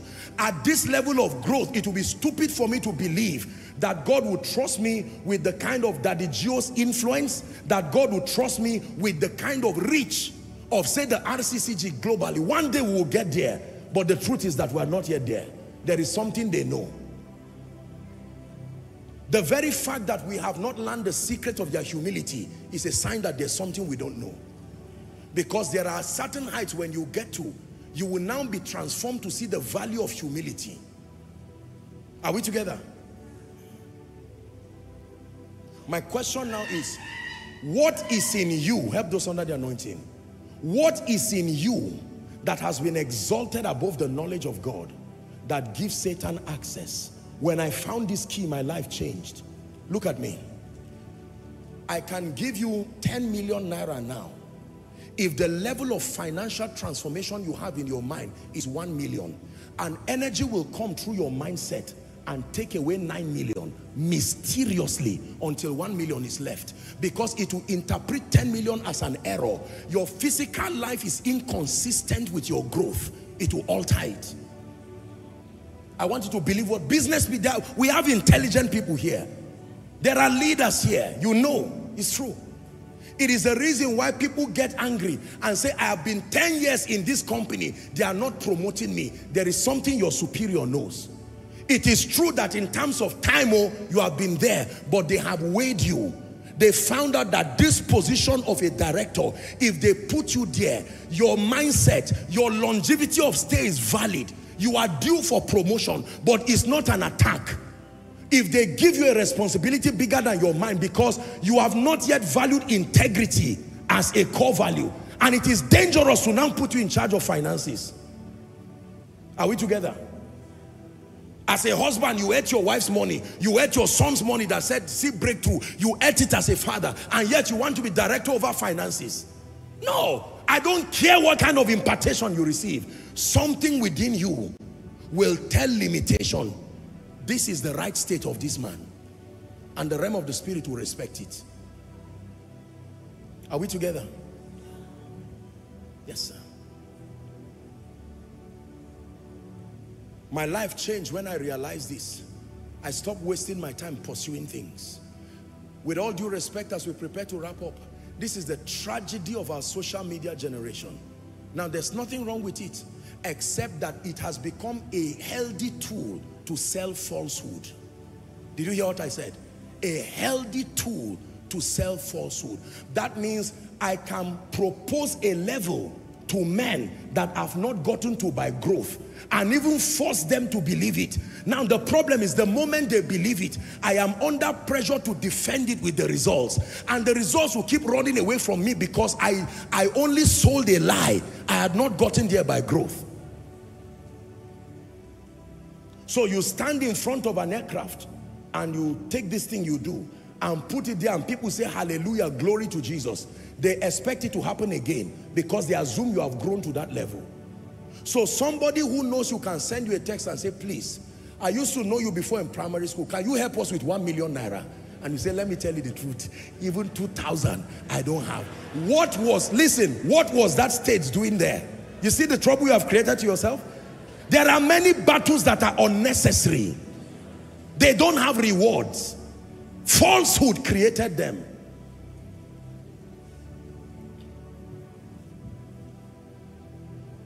What you see today in this ministry is a product of yesterday's mindset.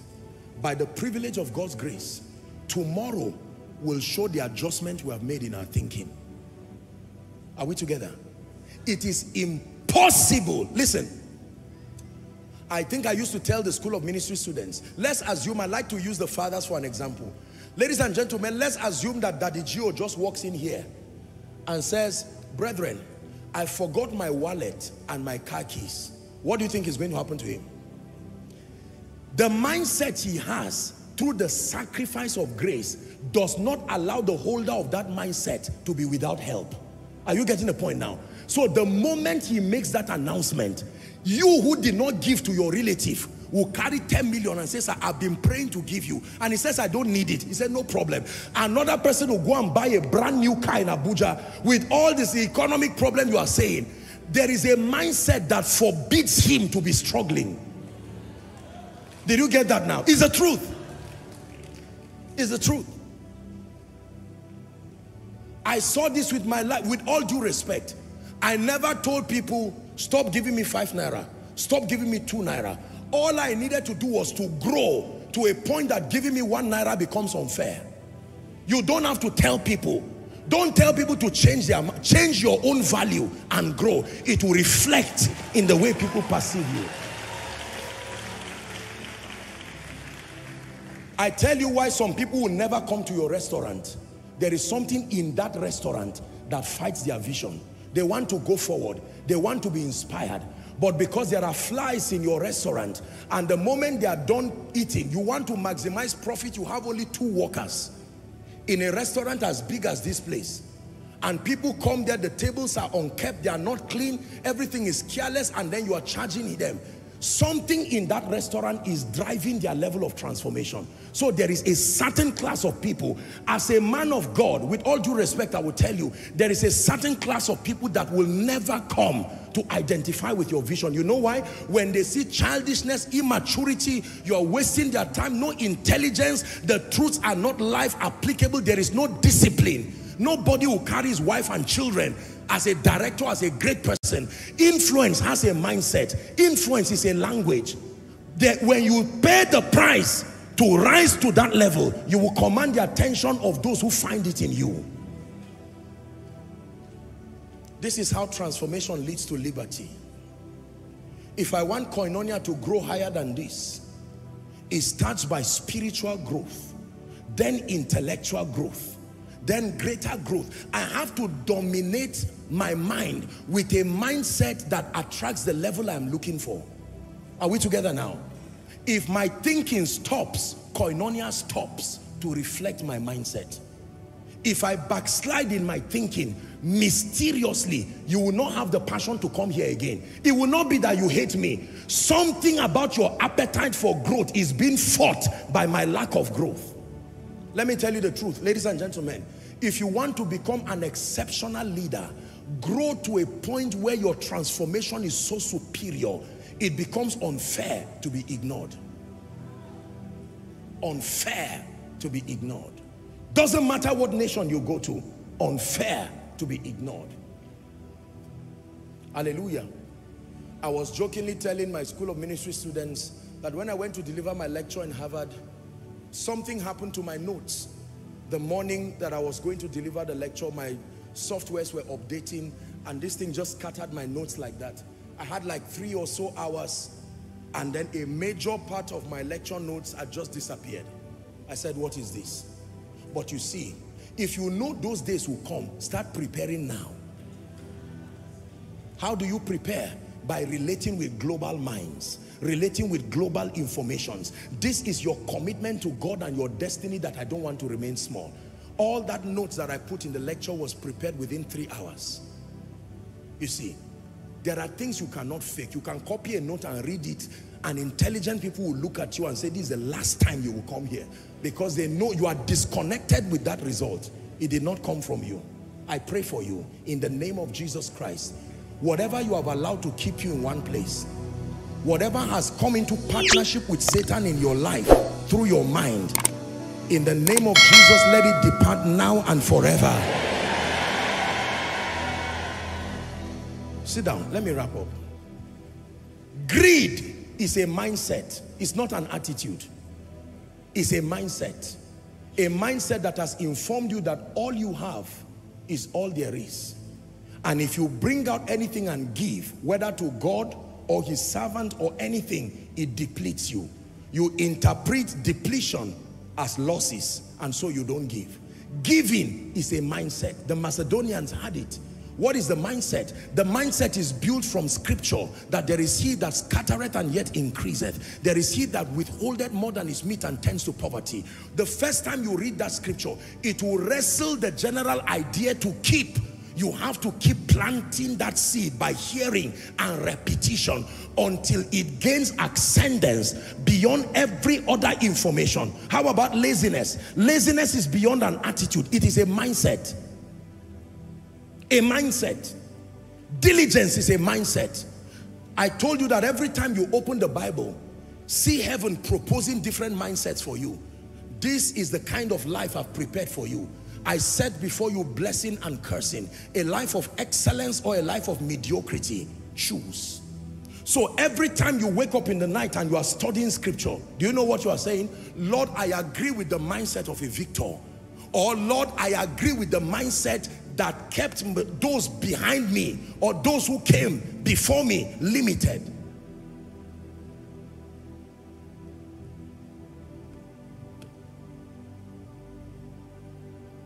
A man of God asked me a question and said, how do you prepare your sermons? Because sometimes we see you everywhere from pillar to post and yet on Sunday. I said, what of those who preach multiple times every week? There is a system for excellence and efficiency.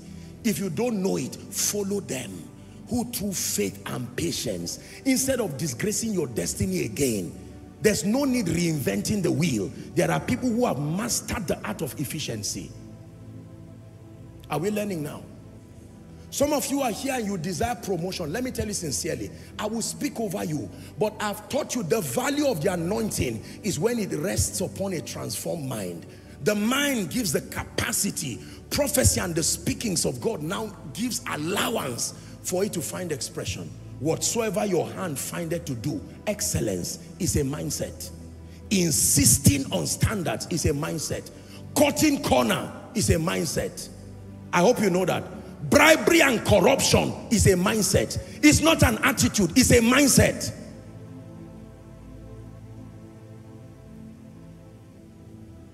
It's a mindset. When God wants to help you, he opens up the way through salvation. And he now begins to do the work of the mindset. But remember, ladies and gentlemen, because there are contents already in your mind, releasing all kinds of energies and attracting to your life unpleasant situations. Listen, the things that God has brought to my life today were always there, but there was a version of me they were looking for. And the former version of me made it unfair for them to come. I hope you know when God called me, you were there. You were still on earth. Why didn't you come? Because my level of transformation made it unfair for someone of your destiny to be under me at that point. It took transformation alongside the mercy of God. Now he has brought you. There are still others. If I remain here, they will not come. A day will come where Gentiles will come to your light and kings to the brightness. So if the light stops shining, only Gentiles will be there, but kings will not come.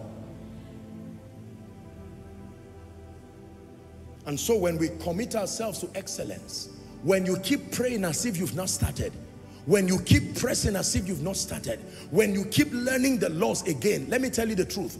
There is none of my messages that I don't listen to. It's a discipline.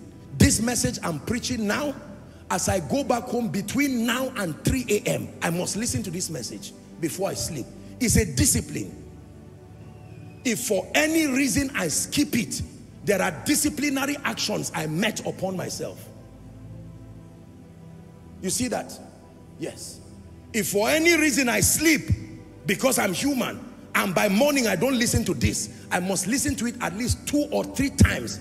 First for my personal edification and then two for improvement and correction. No week should be a worse version of me. Everything should be improvement. That is my commitment to keeping you. That is my partnership with God. When you want the nations to listen to you, you prepare like the mediocres and want nations and kings to hear you, no matter what you have to say. Hallelujah. Some of you, the way you dress is the reason why kings cannot hear you. You dress like to steal from kings and they run away from you. Yes, sir. You don't dress like a king yourself. You remind them of the people that caused them pain and they run away from you. If you're a businessman here, let me challenge you. Go and have a meeting with your workers this week. Gather all of them and say, I came to church and an orientation was given by the man of God. Let's steal out 30 minutes and have a meeting. You dress well. You clean this office. Go and get somebody, remove this paint that looks like this is a dilapidated structure. Paint, but it will take from my profit. It's a mindset. Every time you feel limited, just remember my message. Say mindset. Go and scrape that paint. Put something nice.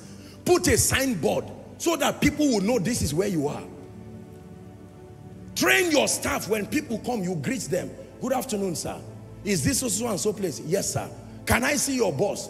Don't say, am I not a human being? No, a mindset. I'm wrapping up, but the church is a place of learning. Okay, I appreciate you, sir. Could you give me a minute? Let me just talk with him. If I have the permission, I'll let you know. But in advance, just for you to know that please, if he's busy, don't find offense. You have represented that company well. By the time the person calls, he will not be angry. He will say, there's one of your staff. Her name is XYZ. This lady did something to me that made me, you are a good man. And because of that, what I was coming to tell you, the business contract will work one person brought increase. Do you think they will not promote that one person? There is a science to promotion. It's not just superstition. If I'm a CEO, there are people I will never promote. And I will make sure they know it. If they are not going to grow, there's no sentiments anywhere.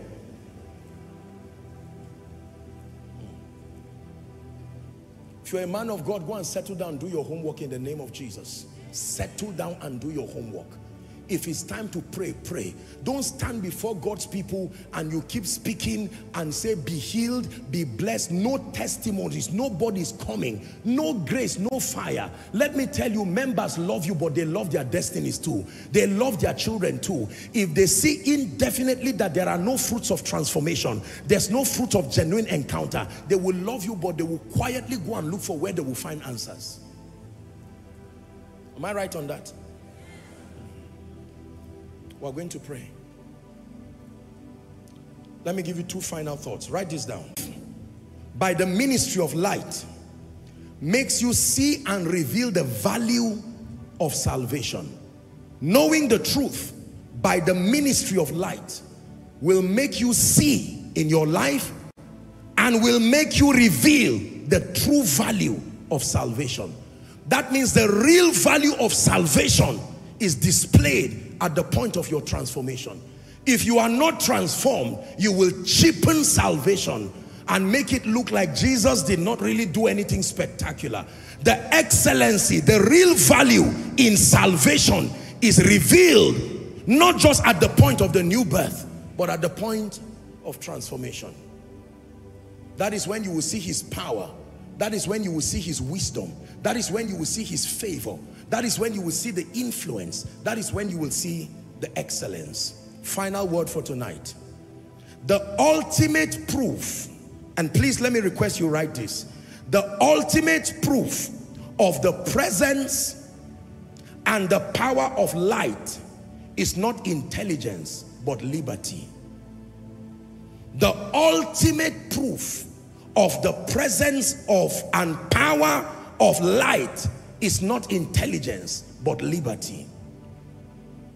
That means when all is said and done, the proof that you have enjoyed the ministry of light is not just that you become more brilliant or more enlightened is the liberty that your life commands and the liberty that you bring to others on account of your light. Because in his light we see light. In your light as his representative others too should see light are we together no matter what I say I know about healing no matter what I say I know about transformation no matter what I say I know about favor, the end product of it is the liberty that attests to that knowledge. If it cannot happen, something is wanting with your light. It is false light you are carrying. It is the reason why we continue to press. Thank God for what we've seen. But for the sake of other areas we have not seen, we keep pressing. Unashamedly pressing.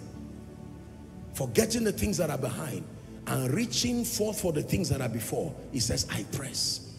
So the ultimate proof of the presence and the power of light, I repeat for one last time, is not intelligence. There are many intelligent people, but they cannot command liberty in their lives and they cannot command liberty in the lives of others. I've taught tonight on the ministry of light. This is the journey beyond salvation. It is how people use light as a tool and as a weapon to dethrone imaginations, to dethrone thoughts, to dethrone reasonings, to dethrone mindsets until that which is consistent with the word of God becomes so exalted and elevated, literally becomes the frame of their thinking. Superior information coming by the word, superior information coming by the ministry of the Holy Spirit, superior information coming by the blessings of priesthood. Are we together?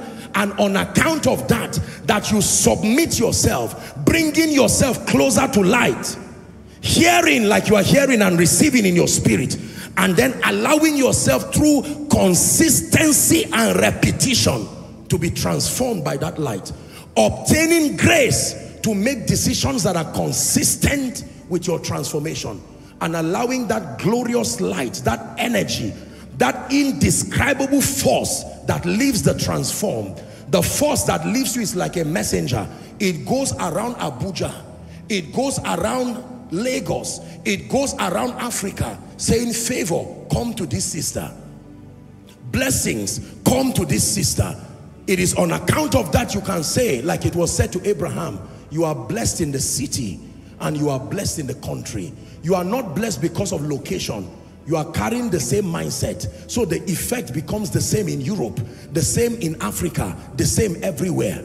If Africa does not contend for transformation, even if we relocate everywhere, it's like a new car with the same driver. You will reproduce the same result. Are you ready to pray? Please rise up on your feet.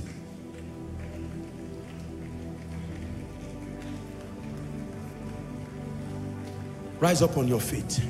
We're going to pray just two prayers and we're done. Prayer point number one. Father, I receive your light. Go ahead and pray. I receive your light. High level spiritual illumination.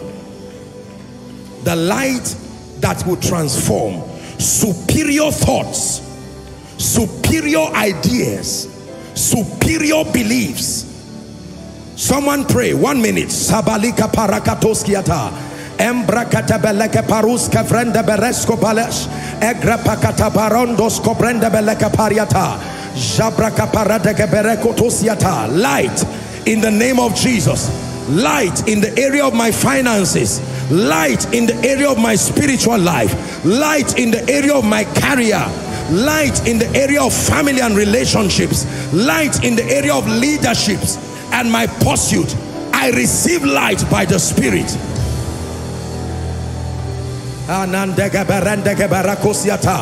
Light beyond the influence of culture.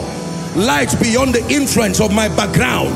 Light beyond the influence of my limitations. Someone pray.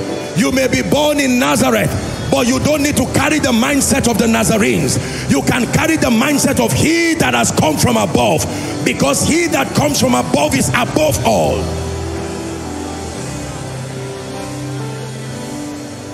You are a Nigerian, a proud one at that, but carry the mindset of a global giant. Carry the mindset of one who has come from above through Nigeria, above through Nigeria, above through Nigeria, above through Africa.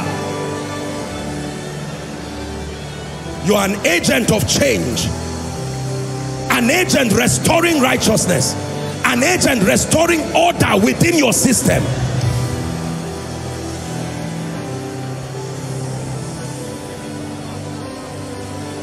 In the name of Jesus.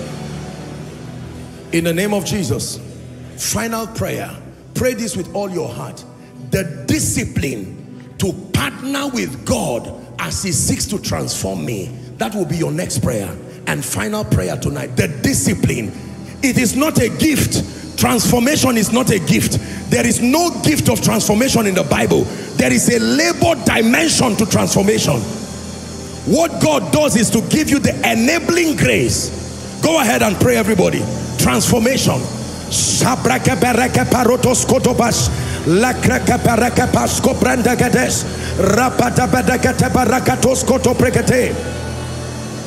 The discipline, pray. The discipline to learn the principles of wealth, not just to assume it. The discipline to learn how ministry works. The discipline to learn how leaders become people of influence. The discipline to learn how spiritual growth happens. That this the anointing comes, how it increases.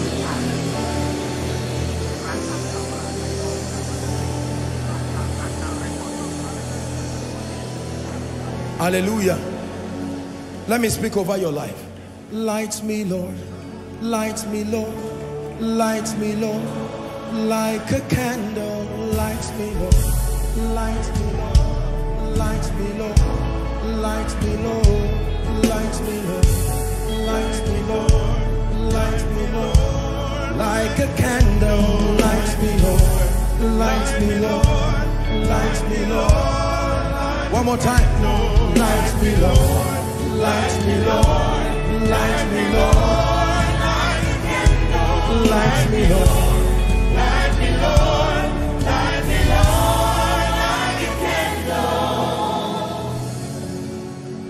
Listen, there is a mentality that when you have by grace, you will never be poor. It doesn't matter what happens. It's not pride.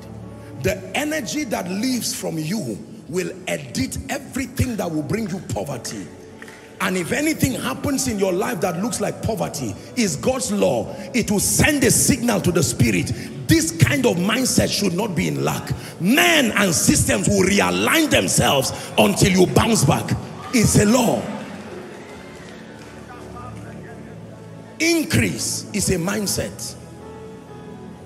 When you understand the mindset of increase, then the grace for increase comes. Listen, grace is come in honor to mindsets. Grace is come in honor to beliefs. Never forget this. Grace is come in honor to mindsets. Don't just look for graces Find out the mindset that the graces are looking for. There is a kind of mindset that when you have, even before you pray for the grace, it would have arrived. Because the mindsets are magnets. It is true. There are things I began to experience in my life before intentionally praying for them. I focused on transformation. And the, the power, the force that was exerted, my God, You want to see magnetic power? Have a superior mindset and see what it will draw to you. It will draw a helper from the ends of the earth and bring it to your house.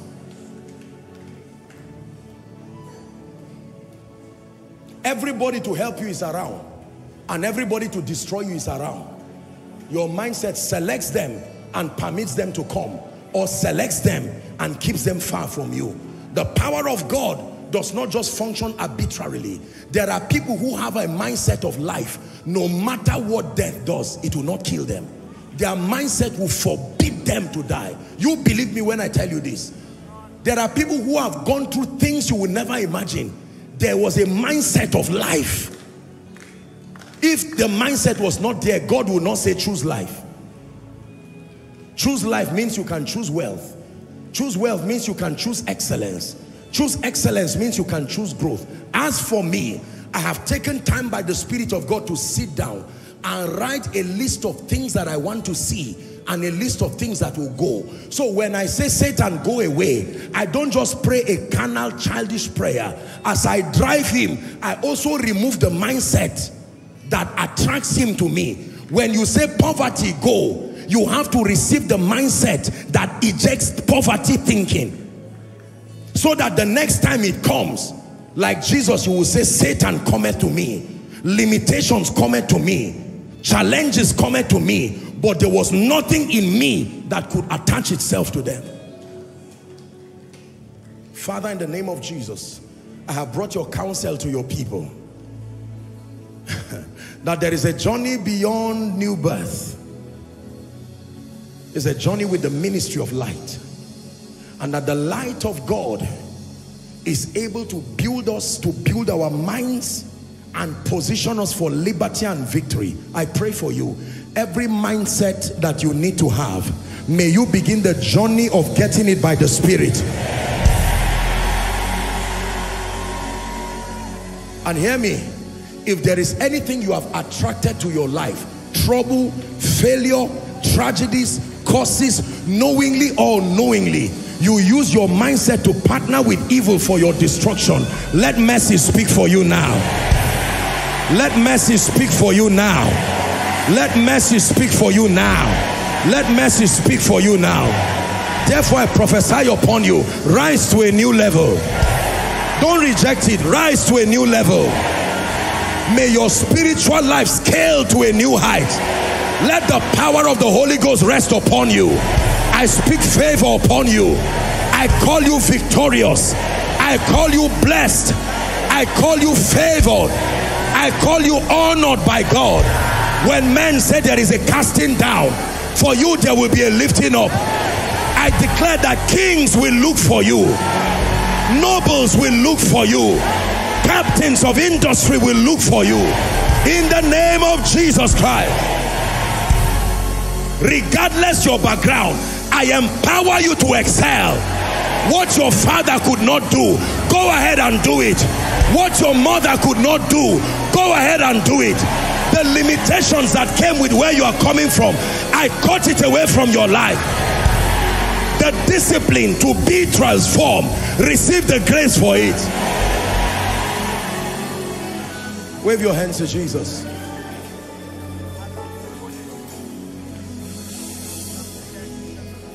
In Jesus' name I pray. Use this week to settle on certain teachings. Go to Koinonia Global.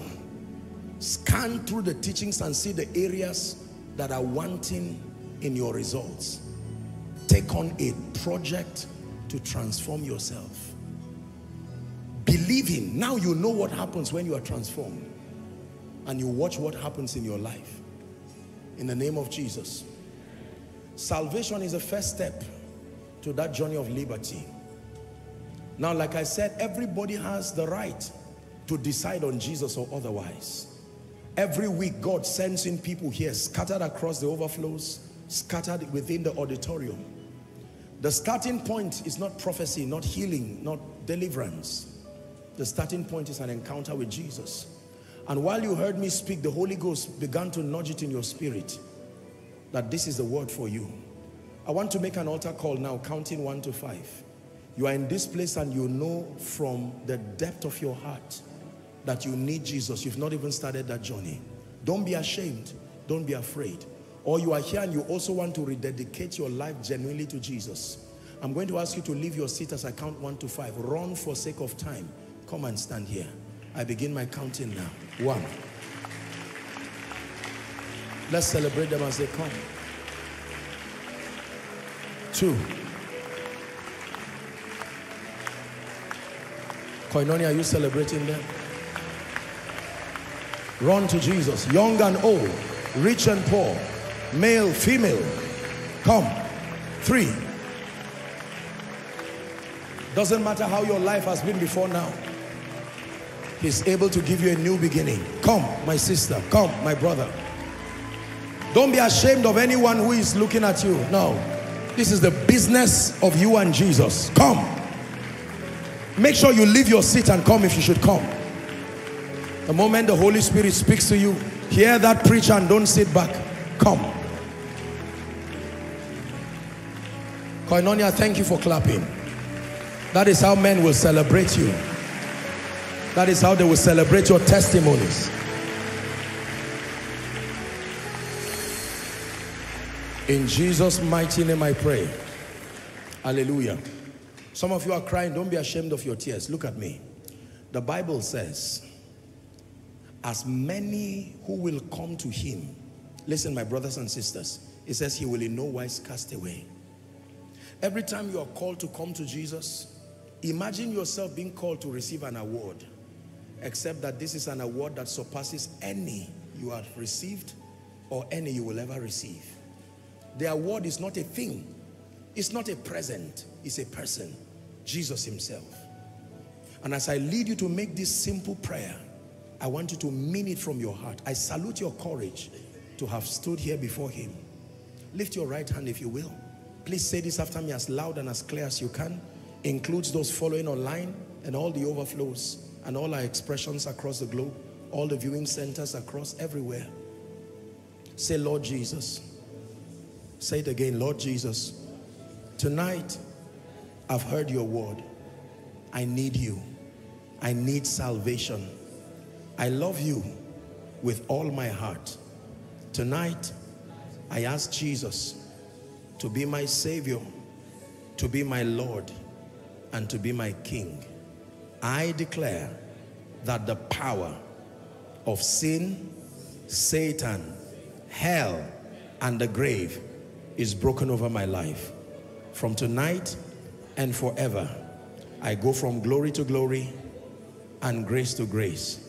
The life of God is at work within me. Amen. Keep your hands lifted. I break the power of sin. I break the power of Satan. I break the power of hell and the grave. I call you bona fide recipients of the life of God. The grace to live and walk in victory. Receive it now in Jesus' name like I taught and you heard, begin that journey to transformation. May you become signs and wonders at the end. In the name of Jesus. Amen and amen. Now very quickly, I want you to follow this gentleman, the counselors. They are waving a placard. They will have a word in one minute and then you'll be back to your seat. Just guide those who are under the anointing so they don't hurt themselves. Hallelujah. Let me take one quick announcement. I wanted to take it before, but um, I didn't want to distract us. Please listen, everyone, before we wrap up. This is from the medical department. Our medical department responsible for managing the health of the people within. The medical department is currently open to take in new members, healthcare professionals, especially doctors, nurses, pharmacists, and lab scientists these are their points of interest. And anyone who belong to this category and you desire to be part of our medical team, please, after the service, whether you're outside, overflows, or in here, just move to the public relations desk. The PR desk is just outside of the main auditorium. And then you'll be given the forms to fill or a QR code to scan and they'll guide you appropriately. Similarly, the aesthetics department, they manage the stage and everything that has to do with beautifying the house of God is currently open to take in new members. I'm told here that they are looking for professional cleaners, florists, decorators, and event planners. So you belong to any of these categories and you've been seeking for an opportunity to serve in the house of God. If you're skilled in any of this area, you can go out after the service also to our PR desk and there would be a group of officials to guide you and give you what forms to fill. Um, I'm told that the closing date is on Sunday, April the 21st, April the 21st, before midnight, that door closes. So you want to serve in any of these departments, here's your chance to serve God and to serve him well. Have you been blessed tonight? Let me encourage you. Number one, please take teaching again. It's a discipline. Practice it. Number two, make sure that as much as possible you extend the teachings to as many people. This is beyond just trying to get a man. No, no, no. You know, with, with, by God's grace, God has shown us mercy. It's a campaign to bring transformation to as many who may never have the opportunity otherwise to hear these truths. So make sure that you extend it to your friends and your loved ones. Let them listen for their growth. Have you been blessed tonight? In the name that is above all names, your week beginning is blessed. The hand of God is strong upon you. Go and return with favor. Testimonies. The lines have fallen for you in pleasant places. You have a goodly heritage of our Lord Jesus Christ, the love of God, the sweet fellowship of the Holy Spirit, rest and abide with us now and forever. Amen. Surely, God's goodness and mercies follow us all the days of our lives as we dwell in the house of the Lord forever and ever. Amen. God bless you. See you on Sunday.